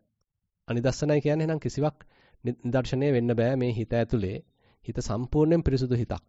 කිසිම නාම රූපයක් පිළිඹු නොවන තත්වයක් එහෙනම් හිතේ තියෙන හරියම පිරිසුදු තත්වයක්, පැහැදිලි තත්වයක් හිත තුළ පහළලා තියෙනවා. ඒතර ඒ මට්ටමේදී විතක්ක තියෙන්න බෑ. ප්‍රපංච තියෙන්න බෑ. සංඥා ගැට ගැහෙන්න බෑ. සංඥා පහළ වෙලා තියෙන්න බෑ. ඒතර මේ තනිකර නිකන් පැහැදිලි අල්ලතුරක් වගේ හරියම පිරිසුදු තත්වයක් හිතේ තියෙනවා. එතන අවිතක්ක ජහන, අවිතක්ක සමාධි කියන වචනේ පොඩ්ඩක් මෙතෙන්දී මතු කරලා තියෙනවා අවිතක්ක සමාධියක් කියලා කියන එක. අවිතක්ක සමාධිය එතකොට රහතන් වහන්සේගේ අරහත් ඵල සමාධිය කියන එක සායනාසේ මෙතන මතක් කරනවා. මේකදී ගන්නවා ඔය කතාව එන සූත්‍රයක් වෙනවා මාර දීතු සූත්‍රය කියලා. ඉතින් කියනවා පස්සද්ද කායෝ සුවිමුත්ත චිත්තෝ අසංඛරානෝ සතිමා අනෝකෝ අඤ්ඤාය ධම්මං අවිතක්ක ජහයි න කුප්පති න සරති න තීනෝ ඕන විදිහට ඉදිරිපත් කරලා තියෙනවා. පස්සද්ද කායෝ. උතර කය හොඳට සංසිඳිලා. සුවිමුත්ත චිත්තෝ. හිත සම්පූර්ණයෙන්ම නිදහස්. අසංඛරානෝ. කිසිවක් සංස්කරණ නැහැ. අසංඛරානෝ සතිමා. සිහියෙන් ඒ වගේම අනෝකෝ. විඥානයේ කිසිම ගේයකට ගිහිලා නැහැ. නේද? කිසිම ගයක් හදලා නැහැ. ඕක කියලා කියන්නේ ගේ අනෝකෝ කියවම කිසිම ගේයකට යා බැහැගෙන නැහැ. රූප ගේ ඇසුරු කරන්නේ නැහැ, වේදනා ගේ ඇසුරු කරන්නේ නැහැ, සංඥා ගේ ඇසුරු කරන්නේ නැහැ, සංස්කාර ගේ ඇසුරු කරන්නේ දැන් ගෙවල් ඇසුරු නොකරන තත්වයකටපත් වෙලා අනෝකෝ. අඤ්ඤාය ධම්මං. ධම නිවැරදිව දැනගෙන. අවිතක්ක ජහයි. කිසිම විතර්කයක් නැති ධානයක් වඩනවා. කුප්ප න කුප්පති න සරති න තීනෝ. ඒ මට්ටමේදී කිසිම හිතේ කිපීමක් ඇත්තේ නැහැ. කිසිම දෙයක් මතක් වෙලා එන තත්ත්වයක් නැහැ. ඒ වගේම කිසිම උදාසීන තත්ත්වයක් ඇත්තෙත් නැහැ. හරිම ශාන්තව හරි ප්‍රබෝධයෙන් හිත තියෙනවා. ඉතින් ඒක අරහත් වල සමාධිය විදිහට පෙන්ලා දෙනවා. අපි ඕක කතා කළා ඇත්තටම ගිය සතියේදී අර මේ අරහත් ඵල සමාධිය ගැනමනේ අපතරම මොකද්ද උත්තරීතර හුදකලාව ගැන කතා කරද්දී ඒ පොතේ ඒකෙත් මේ ගාතාව ඉදිරිපත් වෙලා තිබුණා. ඉතින් මේ විදිහට தත්වයක් දැන් මේ පොතේ කියවෙනවා. ඒතකොට විතර්ක වලට තැනක් නැති தත්වයක් අවිතක්ක ධානයක් අරහත් ඵල සමාධියක්. දැන් එතකොට මේ රහතන් වහන්සේ අනුලෝම පටිලෝම අවස්ථාවේදී සියලු විතර්ක පළවා හැරලා සියලු අපි කියමු ඒ මාරසේනාව පළවා හැරලා දැන් ඒ බඳු සමාධියකින් වාසය කරනවා කියලා කියන්න පුළුවන්. ඉතින් මම හිතනවා අදට ප්‍රමාණවත් කියලා. කාට හරි මේ සම්බන්ධයෙන් ප්‍රශ්නයක් තියෙනවා නම් නගන්න නැත්නම් එකතු කරන්න යමක් තියෙනවා නම් එකතු කරන්න කියලා ආර්දනා කරනවා. අසරයි ස්වාමින් වහන්සේ. ඔව් කියන්න. මේ පැත්තෙන් තියෙනවා ස්වාමින් වහන්සේ පැහැදිලි කිරීමක් කරන්න කියලයි එක අතක් එසවිලයි තියෙනවා ස්වාමින් වහන්සේ. ඔව් අපි මෙහෙනුත් එකක් තියෙනවා අපි චුට්ටක් එනම් මෙහෙ අපේ ස්වාමීන් වහන්සේ කෙනෙකුට ප්‍රශ්නයක් තියෙනවා අපි ඒකට ඉස්සලා සවන් දීලෙමු. අවසරයි ස්වාමීන් වහන්සේ විරතිය කියන එක පැහැදිලි කරන්න යෙදුනා. එතෙන් විරතිනේ අරති. අරතිය එහෙම ස්වාමීන් වහන්සේ. අරතිය කියන එකේ ස්වාමීන් වහන්සේ අපි දැන් සක්මන් භාවනාවක දෙනවා නම් එතෙන්දී අර හිතේ හිතේ ඇතුලේ දෙබස් සාකච්ඡා අඩු මට්ටමක් එනවනේ සමාධිය. ඒක දිගටම පවත්වන්න නැතුව ආයේ එතෙන්ට ඇදිලා යන්න හිතෙනවනේ. එතෙන්ට ඇදිලා යන්න. ඒක නායි විතර කරන්න ඕනේ. එහෙමයි. ඒක ස්වාමීන් වහන්සේ අරතිය කියන්නේ. නෑ එතන නම් එහෙම අර්ථයක් ඒක නම් කියන්න අමාරුයි. එතන තියෙන අපි විතර්ක වලට තියෙන හිතේ කැමැත්ත. දැන් හිතන්න ආස්මට මොකක් හරි කාම විතර්කයක් එවිලත් තියුණා. හරිනේ දැන් මොනවා හරි වෙච්ච දෙයක් මතක් වෙනවා. හරි ලස්සන ඇසුරු කරපු දෙයක් මතක් වෙනවා. කෙනෙක් මතක් වෙනවා. ඒ ටික ටිකක් කැමතිනේ අපි. ඒ වෙනුවට දැන් පාදයට මේ මේ අවධානය යොමු කර කර යොමු කර කර යනවා. හරි කම්මැලිනේ ඉතින්. මේක රහක් නෑනේ ඒ තරම් අරමුණේ නේද? ඒතර එහෙම යද්දී ඉතින් අපි මේ දේ උනන්දුවෙන් කරොත් අර කාමයන් හා සම්බන්ධ විතර්ක ටික දැන් ටිකක් අඩු වෙයි. හැබැයි ආස්ම කියන විදිහට ආයෙත් හැබැයි ඒකට ප්‍රියක් ඇති වෙන්න පුළුවන්. ඒ කියන්නේ ඒ කාම විතර්කයට හිතේ ප්‍රිය බවක් ඇති වෙලා නැවතත් ඒකම ගන්න ඉඩ තියෙනවා. එතකොට ඒක මෙතන තියෙන්නේ අර ඇති වෙච්ච උදාසීන අරමුණට ඒ තරම් අපේ හිතේ කැමැත්තක් නැහැ. ඒ වුණාට කාම විතර්කයට අපි තාම කැමැත්තක් තියෙනවා. ඒක ඒක ඒක වෙනම කතාවක්. ඒතර අපේ තියෙන තාම කාම තණ්හාව, කාම අනුසය තමයි එතන රාග අනුසය තමයි එතන පිළිඹු වෙන්නේ. එයායි ක්‍රියාකාරීත්වනේ එතන මතුවලා තියෙන්නේ. නමුත් මෙතන මේ අරතිය කියලා කියන්නේ අර අපිට කියන්නේ මේ නිවන් දකි එතන භාවනා කරන්න හිතෙන්නේ නැහැ. පරයන්කයට යන්න හිතෙන්නේ නැහැ. පොතක් බලන්න හිතෙන්නේ නැහැ. බණක් අහන්න හිතෙන්නේ නැහැ. වන්දනාවට යන්න හිතෙන්නේ නැහැ. මොකක්වත් කරන්න යන්න හිතෙන්නේ හැබැයි ලොකු වැඩකුත් නැහැ. දැන් එහෙම කට්ටිය ඉන්නවනේ. දැන් හිතන්න ඔන්න කලි සාකච්ඡාවක් තියෙනවා. ඒ සාකච්ඡාවට යන්න ඕනේ අද නොහේ. අද අදිමු පොඩ්ඩක් මට කම්මැලි අද. යන්නේ නැහැ ඉතින්. හැබැයි වෙන වැඩක් ඇත්තෙත් නැහැ. මිදුලත් ඔය හොඳටම හැඩේලා මිදුලතු ගන්න හිතෙන්නෙත් නැහැ. කුටියේ ඉන්නෙත් මිදුලතු ගන්න හිතෙන්නේ නැහැ. සාකච්ඡාවකුත් ඒ වෙලාවට යනවා. ඒ හැබැයි ඒකට යන්න හිතෙන්නෙත් නැහැ. ඔන්න ඒ වගේ තමයි අර්ථය කියලා කියන්නේ. ඒතර මොකක්වත් අරඹන්න අර හොඳ කුසලයක් අරඹන්න නොහිතන ගතිය. හිත හරිව නිකන් උදාසීන ගතියක තමයි තියෙන්නේ. ඒ වගේ තත්යකට අර්ථය කියලා කියනවා. හ්ම්. ඔව්. ඇත්තටම ඔය අර්ථය දුරු කරගන්න එක එක ක්‍රමයක් විදිහට පෙන්වන්නේ සතිපට්ඨාන. අර්ථි රති සහෝ හෝති කියලා ඒ කායගත සති සූත්‍රය කියලා බලන්න මජ්ක්‍ධිම නිකායේ ඒ මජ්ක්‍ධිම නිකායේන කායගත සූත්‍රයේ පෙන්නනවා කායගත සතිය කායානුපස්සනාව වැඩිීමේ ආනිසංශයක් වශයෙන් මේ හිතේ පහළන ඔන්න ඔය අරතීන් දුරු කරමින් එයාට පහසුවෙන් ඉන්න පුළුවන් කියලා. අරතිය එයාව දැන් මඩපවත්තන්නේ හරි උද්‍යෝගයක් තියෙන. හැමතිස්සෙම නිකන් නැවුම් ගතියක් හිතේ තියෙනවා. වැඩක් අරඹන්න හිතෙනවා. පොඩ්ඩක් දුවල පැනලා වැඩක් කරන්න හිතෙනවා. ඔය නිකන් ඈනුම් ඇර ඇර පිටියට හේත් වෙලා කම්මැලි කමේ එහෙම ඉන්න හිතෙන්නේ නැහැ. හැමතිස්සෙම නිකන් අර හොඳ මොටිවේට් වෙච්ච මූඩ් එකේ තමයි ඉන්නේ. ඉතින් ඒ වගේ අර මේ හරිම නිකන් ක්‍රියාශීලී බවක් උදාසීනත්වයක් නෑ හරි ක්‍රියාශීලී බවක් තියෙනවා. මෙතන හැබැයි අර මෙතන අදහස් කරන්නේ මේ භාවනාවෙන් ඇතිවෙච්ච කම්මැලිකම නෙමෙයි. දැන් භාවනාවෙනුත් ඇති කරනවානේ සංස්කාර සමනයක් කරහා ඇති කරනවානේ අමුතු කම්මැලිකමක්. ඒකයිල වෙනම කතාවක්. ඒ කියන්නේ එතන තියෙන්නේ අර චේතනාපූර්වකව මමක් යමක් කරනවා කියන එක දැන් එයා නවත්තලා. සංස්කාර සමතයකට එද්දිත් එනවා අමුතු කම්මැලිකමක්. ඒකයිල වෙන කතාවක්. ඒක ඒකේ තියෙන මේ ටේස්ට් එකේ දෙකක් මේ ටේස්ට් දෙකක් කතා කරන්න. ඒතර මේ අර්ථ කියන එකේ කතාව මෙයා මේ භවනාවක් කරපු එක්කනේ නෙමෙයි ලොකුවට. එතන කතා වෙන්නේ නිකන් ඔහේ ඉතින් අර ඇලිමෑලි ගතියෙන් අර තියෙන එකක්වත් කරන්න හිතෙන්නේ නැහැ. තමන්ගේ යහපත පිණිස හෝ අනුන්ගේ යහපත පිණිස මොකක්වත් කරන්න හිතෙන්නේ නැහැ. එතෙන් සංස ඕක තීන මිද්දෙන් වෙනස් වෙන්නේ තීන මිද්දේ තියෙනකොට අකුසලයකට උනත් හිත මේකක් වෙන්නේ නැහනේ.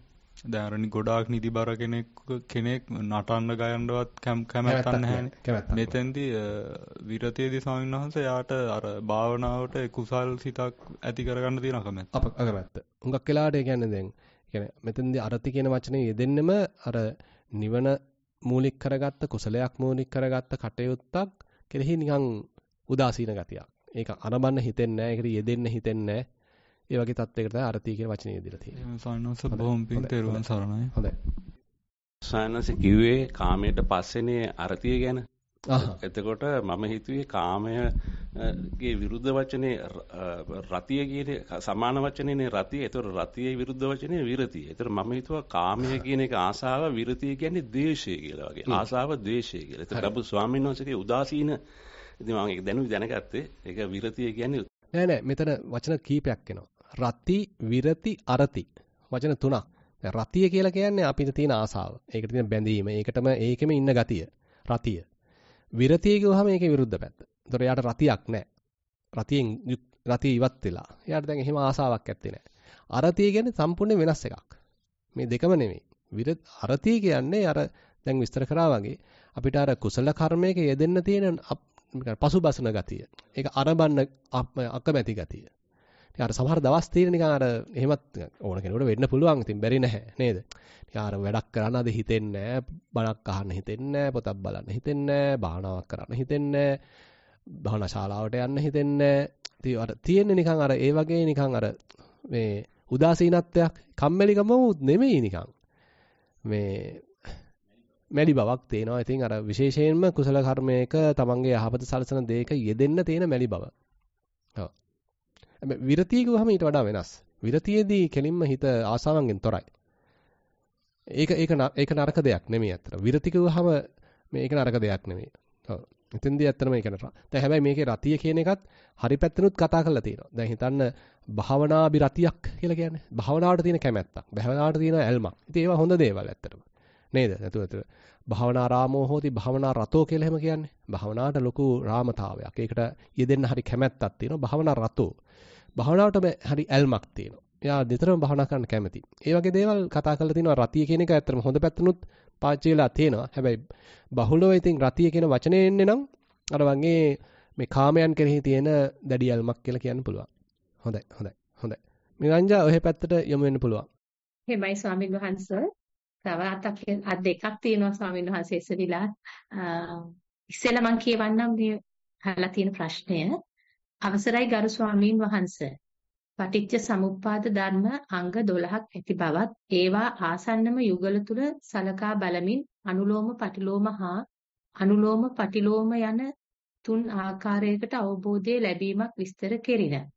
තවද සතිපට්ඨාන සූත්‍රයේදී අජ්ජත් බහිද්ද හා අජ්ජත් බහිද්ද යන තුන් ආකාරයට භාවනා අරමුණක් ඇසුරෙන් අවබෝධ කෙරෙන ආකාරයක්ද සඳහන් වේ. තවද සති යන්න ඇතිවීම හෝ අනුලෝම පැත්තද අසති යන්න නැතිවීම හෝ පටිලෝම පැත්තද යන ලෙස සඳහන් වී ඇති බවයි. ඒ අනුව සති අසති යන්නෙන් අනුලෝම පටිලෝම වශයෙන් තුන්වන ආකාරය ලෙස අරමුණු වල ඇතිවීම නැතිවීම සිදුවන කබලම් ආකාරයක් ලෙස පෙනෙන්නට තිබේ. තවදුරටත් පැහැදිලි කරන මෙන් කරුණාවෙන් ඉල්ලා සිටිමි. নমස්කාරය වේවා. එපමණයි සන්. හොඳයි. ඉතින් ඉස්සරහට අරන් තියෙන කරුණු ටික හොඳයි. නැත්නම් අජ්ජත් බහිද්දා කියන එක. ඉතින් ඒක සතිපට්ඨානයේදී අපි ඉස්සෙල්ලා අජ්ජත් පැත්තෙන් තමන්ගේ කියා ගන්න කය දිහා බලලා තමන්ගේ කියා ගන්න හිත දිහා බලලා අවබෝධයක් ඇති කරගන්නවා. ඊට පස්සේ ඒක බහිද්දාවට දාලා ඒකත් අවබෝධ කරගත්තා නම් ඊට පස්සේ මේ දෙකම හොඳට තේරුම් ගන්න තේරුම් ගන්න අජ්ජත් බහිද්දා වේදේ කරලා යනවා. නේද? ඒතර අන්තිමට වෙන්නේ අජ්ජත් බහිද්දා වේදේ සමහන් වීමක්. දැන් ඒතර මේ බෙදීමක් නැහැ. විඥාණයෙන් කරන්නේ බෙදීම නැවතිලා සම්පූර්ණයෙන්ම අජ්ජත් බහිද්දා ભેදේ දුරු වීමක් තමයි එතන සිද්ධ වෙන්නේ. ඊළඟට අද මේ කතා කරපු අනුලෝම පටිලෝම සහ අනුලෝම පටිලෝම. අනුලෝම වශයෙන් අපි එකක් මෙනෙහි කරගෙන යනවා අවිජ්ජා පත්‍යා සංඛාරා සංඛාර පත්‍යා විඥානං කියන අනුලෝම වාරයක්. පටිලෝම වාරයක් කතා කරන අවිජ්ජායත් වේව අශේෂ නිරෝධ අශේෂ විරාග නිරෝධා සංඛාර නිරෝධෝ ඔය විදිහට පටිලෝම වාරයක් කතා කරනවා. අනුලෝම පටිලෝම කියලා මේ දෙක එකතු කරලා නැත්නම් අනුලෝම වාරයත් කතා කරලා දෙවනිට පටිලෝම වාරයත් කතා කරනවා. ඒක හරි. හැබැයි ඔන්න ඔය අන්තිමට කියප එක නම් ඔතනදී අදහස වැරදි. සති අසති කියන එක. දැන් සති කියන එකේ මෙතන අර්ථය අපි සාමාන්‍යයෙන් කතා කරන සතිමත් බව නෙමෙයි. මෙතන සති කියන එකේ අදහස එය ඇති කල්හි කියන එක. සති ඉමස්මින් සති ඉදං හෝති. මේ ඇති කල්හි කියන එකට සති වචනේ යෙදලා තියෙනවා. ඉමස්මින් අසති කිව්වම මේ නැති කල්හි කියන වචනේ යෙදලා තියෙනවා. එතන මේ සති අසති දෙක එකතු කරලා එකක් කතා කරන්නේ නැහැ. ඒ වෙනුවට ඇත්තටම දහමේ වෙන්නේ සමුදේවය කියලා. දැන් ඒකම සතිපට්ඨානෙත් වෙනවා. සමුදය ධම්මානුපස්සීවා කායස්මින් විහෙරති වය ධම්මානුපස්සීවා කායස්මින් විහෙරති සමුදය වය ධම්මානුපස්සීවා කායස්මින් විහෙරති. එතකොට මේ හට ගැනීම පැත දකිමින් වාසය කරනවා. වය කිව්වහම වැයවීම, ෂයවීම පැත දකිමින් වාසය කරනවා. ඊළඟට සමුදය වය දෙක දකිමින් වාසය කරනවා. ඇතිවීම නැතිවීම දෙකම දකිමින්. උදයව්වේ දකිමින් උදය වය දෙක දකිමින් වාසය කරනවා. එතන ওই පැත්ත තමයි අපි තේරුම් ගන්න තියෙන්නේ දැන් මෙතන. සති කියන වචනේ පටලවා ගන්න එපා. මේ ඇති කල්හි කියන එකට සති කියලා වැදෙනවා. නැති කල්ලි කියන්නේ අසති කියලා වචනේ ඇදලා තියෙනවා. හොඳයි අපිට අතකට යන්න පුළුවන්.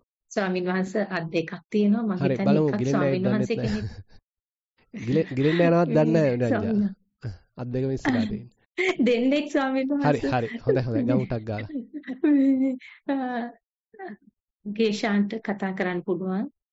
තුරුවන් සරණයි ස්වාමීන් වහන්සේ මම හිතන්නේ මීට ඉස්සෙල්ලා අහපු ප්‍රශ්نين සති අසති එකේ සමුදේ වය කියන එක අතර සම්බන්ධය මට ටිකක් තේරුණා. මම හිතන්නේ මගේ ප්‍රශ්නේ එන්නේ සමුදය සහ වය කියන ප්‍රශ්නයත් ඇතුලෙන් ඒකම තමයි මට අහන්න උවමනාව තිබ්බේ. මේක සති සහ අසති කියන එකටත් සම්බන්ධ වෙච්ච ස්වාමීන් වහන්සේ දැන් කිව්වා මේක දෙකක් හැටියට තමයි වෙන්නේ කියන එක.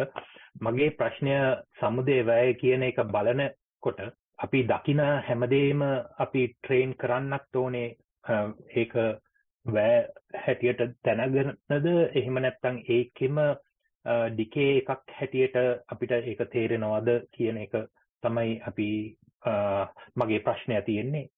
ස්වාමීන් වහන්සේට ඒක පොඩ්ඩක් පැහැදිලි කරලා දෙන්න පුළුවන් නම් බොහොම පිං තුන්වන් සරණයි ඔව් දැන් මෙහෙම කියත හැකි. දැන් අපි සතිමත් බවක් හදාගෙන හිතේ එකඟතාවයක් තනාගෙන හොඳට වීරිය සමබර කරගෙන හිතන දැන් අපේ වේදනාවල් දිහා බලන් ඉන්නවා. ඒතර ඒතර තමයි දැනෙනවා මේ වේදනාවන් හට ගන්න ආකාරය. හැබැයි තාම ඒ තරම්ම තේරුන්නේ නැහැ කියලා හිතන්න නිකන් මේක දුර වෙන ආකාරය හට ගන්න ආකාර නම් තේරෙනවා. එතකොට අපිට තේරෙනවා හොඳ සමුදේ ධම්මානුපස්සීව වේදනාසු විහෙරති. එතකොට මේ වේදනාව හට ගන්න ආකාරය බලමින් එයා වාසය කරනවා. දැන් හැබැයි ඒක හරහා එහෙම දකිමින් වාසය කරද්දිත් එයාගේ ඉන්ද්‍රිය ධර්මයන් දියුණු වෙන්න ගන්නවා. තව දුරටත් සතිය දියුණු වෙනවා. තව දුරටත් සමාධිය දියුණු වෙනවා. හොඳට ඒවා මුවහත් වෙනවා. එතකොට ඔන්න මේවා නැති වෙන ආකාරයත් පේන්න ගනී. වය ධම්මානුපස්සීව වේදනාසු විහෙරති. දැන් මෙතන නැති වෙන ආකාරයක් දැන් ඊට පස්සේ පේනවා. සමහරවිට එයාට සමුදේ වීමට වඩා වැය වෙන පැත්ත, ෂය වෙන පැත්ත ටිකක් මතුවලා පේන්න පුළුවන්. වය ධම්මානුපස්සී එතකොට එයා ටිකක් බහුලීකృత කරනවා. වැය පැත්තමයි බලන්නේ. නිරෝධානුපස්සනාවක්මයි වඩන්නේ. ටිකක් බහුලව ඒකට අවධානයක් දෙනවා. දැන් එතකොට දෙක එකතු කළත් එනකොට ඊළඟට බලන්න පුළුවන්. දැන් දෙකම යාට වෙනවා. ටක් ගාලා හට ගන්නවා බලනවත් එක්ක නිරුද්ධ වෙනවා. හට ගන්නවා නිරුද්ධ වෙනවා. හට ගන්නවා නිරුද්ධ වෙනවා. සමුදේ වය ධම්මානුපස්සීවා කායස්මින් විහෙරති. නැත්තම් වේදනාවසු විහෙරති. ඒතර මේ වේදනාවන් ෂණිකව හට ගන්න ආකාරයත් යාට පේනවා. ෂණිකව නිරුද්ධ වෙලා යන ආකාරයත් පේනවා. ඒක හුඟක් වෙලාවට සමහරට කෙනෙකුට හිතට දාන්න පුළුවන්. හිතේ සමහරලාවට හිතවිලි හට ගන්නවා පේනවා සමහරලාට පේන්නේ නැහැ ගියේ හැටි. නිකන් යන ගිහිලා ඉවරයි නිකන් Tamanට යන හැටි දැක්කේ නැහැ. සමුදේ වීමනම් පෙනුණා. සම සමහරලාට යන හැටි පෙනුණා කොයි වෙලාවෙද ආවේ කියලා Tamanට තේරුන්නේ නැහැ. ඒතර වැය වෙන ආකාරය පෙනුණා. තවත් වෙලාවකට මේ දෙකම පේන්න පුළුවන්. කලින් නොතිබී ඔන්න යම් සිසිදුවිල්ලක් හටගත්තා. අවධානයෙන් හිටියා සතියෙන් හිටියා හැබැයි ගියා යන හැටිත් දැක්කා. සමුදේ වය දෙකම චිත්තානුපස්සනාවදිත් වෙන්න පුළුවන්. ඒ නිසා අපි ඒක අපි කරන දෙයක් නෙමෙයි ඇත්තට. මම මල්ම බලෙන් කරන දෙයක් නෙමෙයි. මගේ හිතේ මේ වෙනකොට සතිය සමාධිය වීරිය සමතාවය ගාන්ට දිනුනලා තියෙනවා නම් එතකොට ওই ටික පෙනේවි. හේ ස්වාමීන් වහන්සේ මට තේරෙනවා හොඳටම සමුදය ඒ කියන්නේ මොකක් හරි පින්තූරයක් බලනකොට ඒක මම තනින් තන පොයින්ට්ස් දැනගන්නවා ඒක මට හොඳට තේරුණා කියන එක ඊට පස්සේ ඒකෙම වැය වෙන එක ගැන බලන්න යනවා නම් තමයි එතන ප්‍රශ්නේ ඉන්නේ මං හිතනවා මගේ සිතේම තියෙන changes එකකින් තව එකකට යනවත් එක්කම තියෙන්නේ එතන වැයක් කියන එක තමයි මට තේරුම් ගන්න උවමනාව තියෙන්නේ කියන එක තමයි මට හිතුනේ දැන්. තුනුරන් සරණයි. හොඳයි හොඳයි. ඊළඟට අත ඔසවලා තිනවා මල්පාන චන්ද්‍රත්‍රිස්ස කියලා ස්වාමීන් වහන්සේ නමක් ඉන්නේ. තෙරුවන් සරණසනාස මට පොඩි ප්‍රශ්න දෙකක් තියෙනවා. පළවෙනි කාරණේ තමයි අර දසමාර සේනාව ගැන කතා කරපු සූත්‍රේ නම මොකද සනාංශ? පදහන සූත්‍රය. පදාන සූත්‍රනේ. ඒකත් එතකොට සනාංශ ඒක ඉන්නේ සුත්ත නිපාතේ එන පදහන සූත්‍රය. සුත්ත නිපාතනේ. ඔව්. සනාංශ මම කලින් කීවද්දි සූත්‍රයක මට අහුණා මේ පටිච්චසම්පාදර ඒ කියන්නේ එකක් අරගෙන දැන් ජාතිය ගත්තොත් එම ජාතිය හට ගැනීම ඒ කියන්නේ චතුරාර්ය සත්‍යයට දාන සූත්‍රයක් මම කලින් කියවලා තිනවා සනන්ස. සනන්ස මතකද දන්න එහෙම සූත්‍රයක් තියෙනවා. ඒ කියන්නේ දැන් අවිද්‍යාවට හේතුව. එතකොට අවිද්‍යාව තියෙනවා හේතුව තියෙනවා. ඒකේ Nirodhaය තියෙනවා. Nirodhagami මාර්ගය කියලා ওই 12ටම දාලා කඩලා තියෙනවා සනන්ස සූත්‍රයක් තිබුණා. ඒ සූත්‍රයක් මතකද දන්න සනන්ස? මට ඒ නම නම් එහෙම මතක නැහැ. තා ටිකක් අපි ඉස්සරහට යනකොට හම්බ වෙයි. ඒ කියන්නේ පරිසම්පාදයට අදාළ ඔක්කොම වගේ සූත්‍ර මෙතෙන්දී සෑහෙන ඉස්සරහට ගැනෙනවා. අපි බලමු ඉදිරියේදී සාකච්ඡා කරන්න. මටත් දැන් ෂණිකව මතක් වෙන්නේ නැහැ මේ මේ පැත්ත. ඔව්. මට එකක් කියවෙ මතක නැහැ. කොගන්ද සූත්‍රය එකයි හවසනස. හරි තිරන්සන සංසන. හොඳයි හොඳයි. අපි ඉස්සරහට බලමු මේ ඇති සමහරවිට මේ කටුකුරුන් සාන්නාසෙත් ඕක මතු කරලත් තියෙන්න පුළුවන්. එහෙම නැත්නම් මම චුට්ටක් හොයලා බලන්නම් ඔය කියපු පැත්තෙන් පරිසම්පාදයේ අංගවලට ඔහම දාපු සූත්‍රයක් තියෙනවද කියලා. හොඳයි. ඔව් එහෙමයි සන්ස. හරි තෙරුවන් සන්නයි. තෙරුවන් සන්නයි. හොඳයි වෙන විශේෂ ප්‍රශ්නයක් නැත්නම් කියන්න කියන්න. අවසරයි ස්වාමීන් වහන්සේ රෝහිණී මෑණියෝ කියලා තියෙනවා සම්මා දිට්ඨි සූත්‍රය කියලා. ඒකද? සම්මා දිට්ඨි සූත්‍රේ ඔව් සම්මා දිට්ඨි සූත්‍රෙත් කතා කරනවා පැති කීපයක්.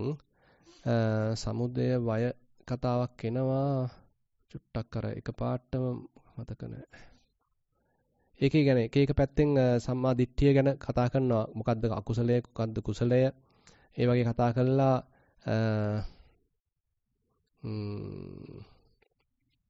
මේක එනවා ඔව් ඒ කියන කතාවෙත් ඇත්තක් තියෙනවා. උදාහරණයක් වශයෙන් චත්තාරෝමය ආවුස ආවුසෝ ආහාර.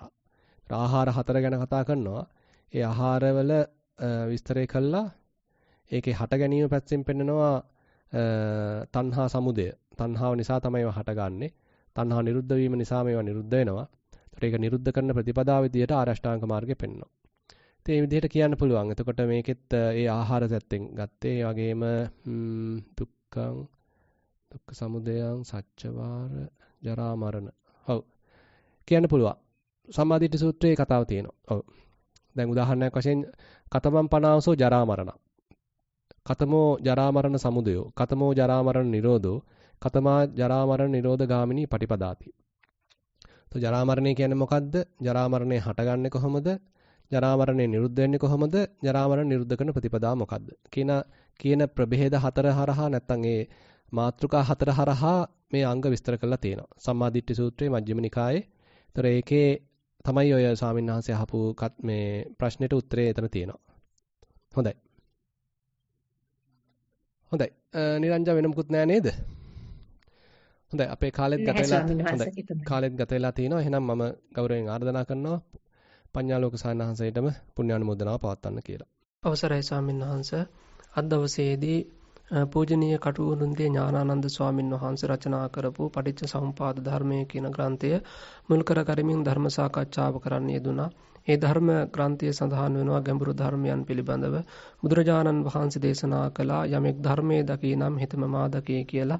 එනම් ඒ ධර්මය නම් පටිච්ච සමුපාද ධර්මය විස්තර කිරීම වශයෙන් තමයි කරුණු කාරණා රාශියක් කතා කරන්න යෙදුනා.